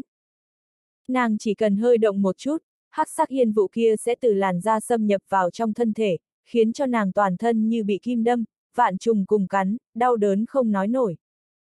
Lão quái vật này bắt nàng lại, còn chưa nói với nàng một câu, đặc biệt là một đôi ánh mắt lành lạnh kia của sát hành vân có mấy lần nhìn chăm chú lên trên người nàng, nàng đều cho là sát hành vân muốn ăn tươi nuốt sống nàng. Nghe được thanh âm của sát hành vân, Phong Phi Vân cùng tả thiên thủ đều là mặt liền biến sắc, lúc này xong rồi. Cái hung nhân này làm sao tới rồi, người tới bất thiện a. À. Thời gian gần 200 năm, thật sự quá xa xưa, cường giả cái thế cũng đã nhao nhao giả đi, có tóc trắng xóa, có đã đi vào phần mộ. Mà càng có người lại cường thế quật khởi, đã trở thành một đời cường giả cấp bá chủ mới. Tả thiên thủ dường như có lẽ đã cảm nhận mình già rồi, ngay cả hơi thở cũng gấp hơn trước kia, cả ngón tay cũng không nhấc lên nổi, lưng lúc nhỏ còn thẳng tắp nhưng giờ đã còng xuống. Thì ra là tôn giả dương giới giá lâm, thứ cho không tiếp đón từ xa, khục khục, bất quá tiểu lão nhân thân thể càng ngày càng suy yếu, chỉ còn dưới ba ngày để sống, chỉ muốn an dưỡng mấy ngày cuối cùng này. Tả thiên thủ bộ dạng như gần chết, xoay cái lưng còng, không ngừng ho khan. Vừa rồi tinh thần còn tựa như một đầu trâu đực, đột nhiên thoáng một phát đã trở nên giống như gần chết vậy, chỉ còn lại ba ngày. Ai mà tin chứ? Lão gia hỏa này quả nhiên là một tên lừa đảo. Sát hành vân tuy rằng toàn thân đều bị áo đen bao lấy, nhưng đôi mắt lành lạnh kia lại bộc phát ra vầng sáng sáng ngời, âm trầm cười nói. Tả đại sư chẳng lẽ cho rằng ta là một tiểu hài tử ba tuổi sao, ta vẫn còn nhớ rõ tả đại sư ít nhất vẫn còn sống được 160 năm nữa đấy. Khục khục, tả thiên thủ lại ho sặc sụa, từ trong lòng ngực móc ra một cái khăn lau màu đen, khẽ lau bên khóe miệng, lau vài cái đã lập tức dính đầy máu tươi, hắn thở hổn hển hai hơi, nói. Tiểu lão nhân vốn vẫn còn sống được hơn trăm năm, nhưng làm như một gã tầm bảo sư, trung quy vẫn phải tiến vào một ít nơi cấm kỵ, gặp một ít bí văn thượng cổ, biết được một ít chuyện không nên biết, nhất định sẽ bị giảm thọ, thậm gặp phải một ít điểm xấu. Coi như là đại tầm bảo sư cũng không thể thoát khỏi vận rủi như vậy, huống chi lão phu còn không đạt tới cảnh giới đại tầm bảo sư. Loại người như tầm bảo sư, quả thật sẽ thường xuyên nhìn thấy một ít tứ mà tu tiên giả bình thường không thấy được, gặp được một ít đồ vật mà tu tiên giả không gặp được, rất nhiều tầm bảo sư đại danh đỉnh đỉnh trong lịch sử lúc tuổi già đều bị chết thê thảm, thập phần bi thương. Thì ra là vậy. Sát hành vân có chút thất vọng lầm bầm lầu bầu. Tả thiên thủ tiếp tục ho khan, ho đến đầy đất đều là máu. Phong Phi Vân có khi thật sự rất hoài nghi, một người thọ nguyên sắp hết, khí huyết đã khô héo, sao lại còn nhiều máu để ho như vậy được. Sát hành vân sau khi trầm mặc nửa ngày, chợt trong đôi mắt bắn ra hai đạo hàn mang, mãnh liệt phung ống tay áo lên, một mảnh khói đen từ trong tay áo bay ra, hóa thành một cái thủ trảo cực lớn dữ tợn khủng bố, tràn đầy lân phiến, màu sắc tôi tăm khiến người cảm thấy cực kỳ sợ hãi. Oanh! Thủ trảo kia đụng nát tường thấp, đánh vào bảy tòa tứ cấp trận pháp trong sân, ép đến trên đỉnh đầu tả thiên thủ, tả thiên thủ bộ dáng vốn như gần chết trên người bỗng nhiên nổ bắn ra một đoàn ánh sao màu trắng, cánh tay trái mãnh liệt đánh ra ngoài, đánh lui thủ trảo của sát hành vân. Lưng tả thiên thủ lập tức thẳng tắp, hai mắt bắn ra tinh mang, tràn đầy tinh thần, hắn lôi kéo Phong Phi Vân đột nhiên lui vào trong phòng gỗ, sau đó kích hoạt lên mấy chục tòa hộ trận đóng cửa gỗ lại. Ha ha, tả đại sư vẫn giảo hoạt như vây, thiếu chút nữa đã bị ngươi lừa gạt rồi. Hai chân sát hành vân dậm lên trên một đám mây đen đậm đặc, tựa như u linh bay tới bên ngoài nhà gỗ, không có chút tiếng bước chân nào cả. Tả thiên thủ nói, tả mỗ sớm đã không còn để ý tới chuyện của âm dương nhị giới, mà ngay cả tu tiên giới cũng không hề giao thiệp nữa, người vốn không nên tìm tới ta. Ta chỉ là muốn mời tả đại sư giúp một chuyện thôi. Sát hành vân mặc dù nói là tới cầu người, nhưng lại không hề có chút tư thái cầu người nào cả, ngược lại giống như đến bắt người vậy. Loại chuyện này, ta thật sự đã cai rồi. Tả thiên thủ tựa hồ không dám giúp người làm bất cứ chuyện gì nữa. Ta tự nhiên sẽ không để cho tả đại sư giúp không công đâu, ta sẽ đưa đến một phần đại lễ. Sát hành vân lỗi lạc mà đứng, có chút khẽ vươn tay, dẫn xuất một đạo mây mù màu đen đưa kỷ thương nguyệt đã bị trói buộc qua, một cái móng vuốt phủ đầy lân phiên nhéo vào trên cái cổ trắng nõn của kỷ thương nguyệt, phát ra tiếng cười rét lạnh. Nghe nói tả đại sư vào 200 năm trước vì một vị nữ tử tuyệt đại của kỷ gia đã tiến vào thần đô đế cung phòng thủ xâm nghiêm nhất thiên hạ trộm lấy long linh thạch, phần cảm tình này quả thật đủ sâu. Câm miệng, tả thiên thủ lạnh giọng nói. Phong Phi Vân chưa từng thấy qua tả thiên thủ nghiêm túc như thế, oán hận như thế bao giờ, cánh tay trái của hắn hung hắn bóp lên cây cột, khiến cây cột kia phải lõm xuống.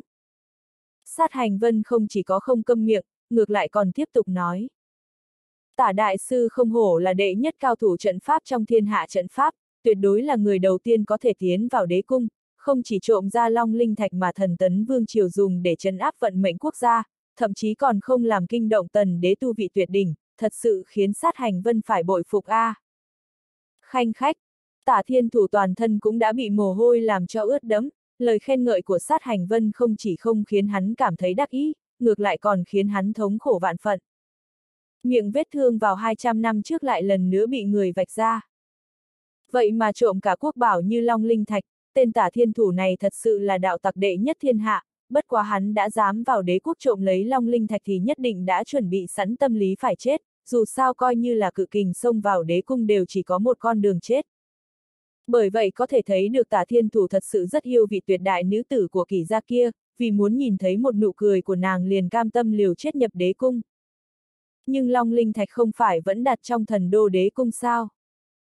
Phong Phi Vân cũng càng thêm rất hiếu kỳ, về sau đến cùng đã xảy ra chuyện gì? Sát hành Vân tiếp tục nói. Chỉ tiếc tả đại sư liều chết làm tất cả lại chỉ là uổng công. Lúc ngươi giao long linh thạch vào tay kỳ linh huyên thì đổi lấy lại không phải là nhất tiếu khuynh thành của gia nhân mà ngược lại là một kiếm vô tình, một kiếm này không chỉ chặt đứt cánh tay phải của đại sư mà càng chặt đứt đi ý chí chiến đấu và linh hồn từ trước đến nay của đại sư. Có một loại sầu não, gọi là thất vọng, mà có một loại thống khổ, gọi là tuyệt vọng. Đừng, đừng nói thêm nữa, đừng nói, van người đấy. Tả thiên thủ tựa như bóng ra xì hơi vậy, cả người đều mất đi tinh khí thần, từ bên cạnh cây trụ sụi lơ ngồi xổm trên mặt đất, toàn thân đều đang run rẩy, không ngừng cầu khẩn. Đây là lão lừa gạt lừa chết người không đền mạng kia sao? Giờ phút này hắn giống như là một kẻ đáng thương vậy. Hắn muốn bịt hai lỗ tai của mình, để không nghe tiếp nữa, nhưng mà... Hắn chỉ có một cánh tay. Sát hành vân cũng không định buông tha hắn, lạnh lùng cười cười, tiếp tục nói. Ta rất ngạc nhiên về sau đến cùng đã xảy ra chuyện gì. Vì sao kỷ linh huyên lại mang theo long linh thạch, cột lấy tả đại sư, tiến nhập đế cung, hiến long linh thạch cho tấn đế, càng hiến cả thân thể của nàng cho tấn đế. Kỷ Linh Huyên đã trở thành kỷ phi nương nương trong tứ đại thần phi hiện giờ, mà tả đại sư lại bị nhốt vào trong thần đô đại ngục, trải qua sinh hoạt tù tội không có thiên lý, cạc cạc, chuyện này rốt cuộc là sao thế? Sát hành vân biết rõ còn cố hỏi, tiếng cười âm trầm hắn phát ra lọt vào trong tao tả thiên thủ lại cực kỳ chói tai, tựa hồ như đang cười nhạo hắn là một tên đần, là một kẻ đáng thương nhất thiên hạ vậy. Tả thiên thủ nằm trên mặt đất, vòng quanh hai chân, hai mắt ngốc trệ, giống như bị một ngàn đại hán quyền đấm cước đá vậy, bị thương không nhẹ. Hắn lộ ra càng thêm già nua, trong miệng không ngừng ho khan, ho ra máu tươi. Lần này hắn thật sự đã ho ra máu rồi. Phong Phi Vân giờ phút này trong lòng cũng cực kỳ áp lực, tuy rằng sát hành Vân nói đều là sự tích của tả thiên thủ, nhưng lại khiến Phong Phi Vân liên tưởng đến chính mình.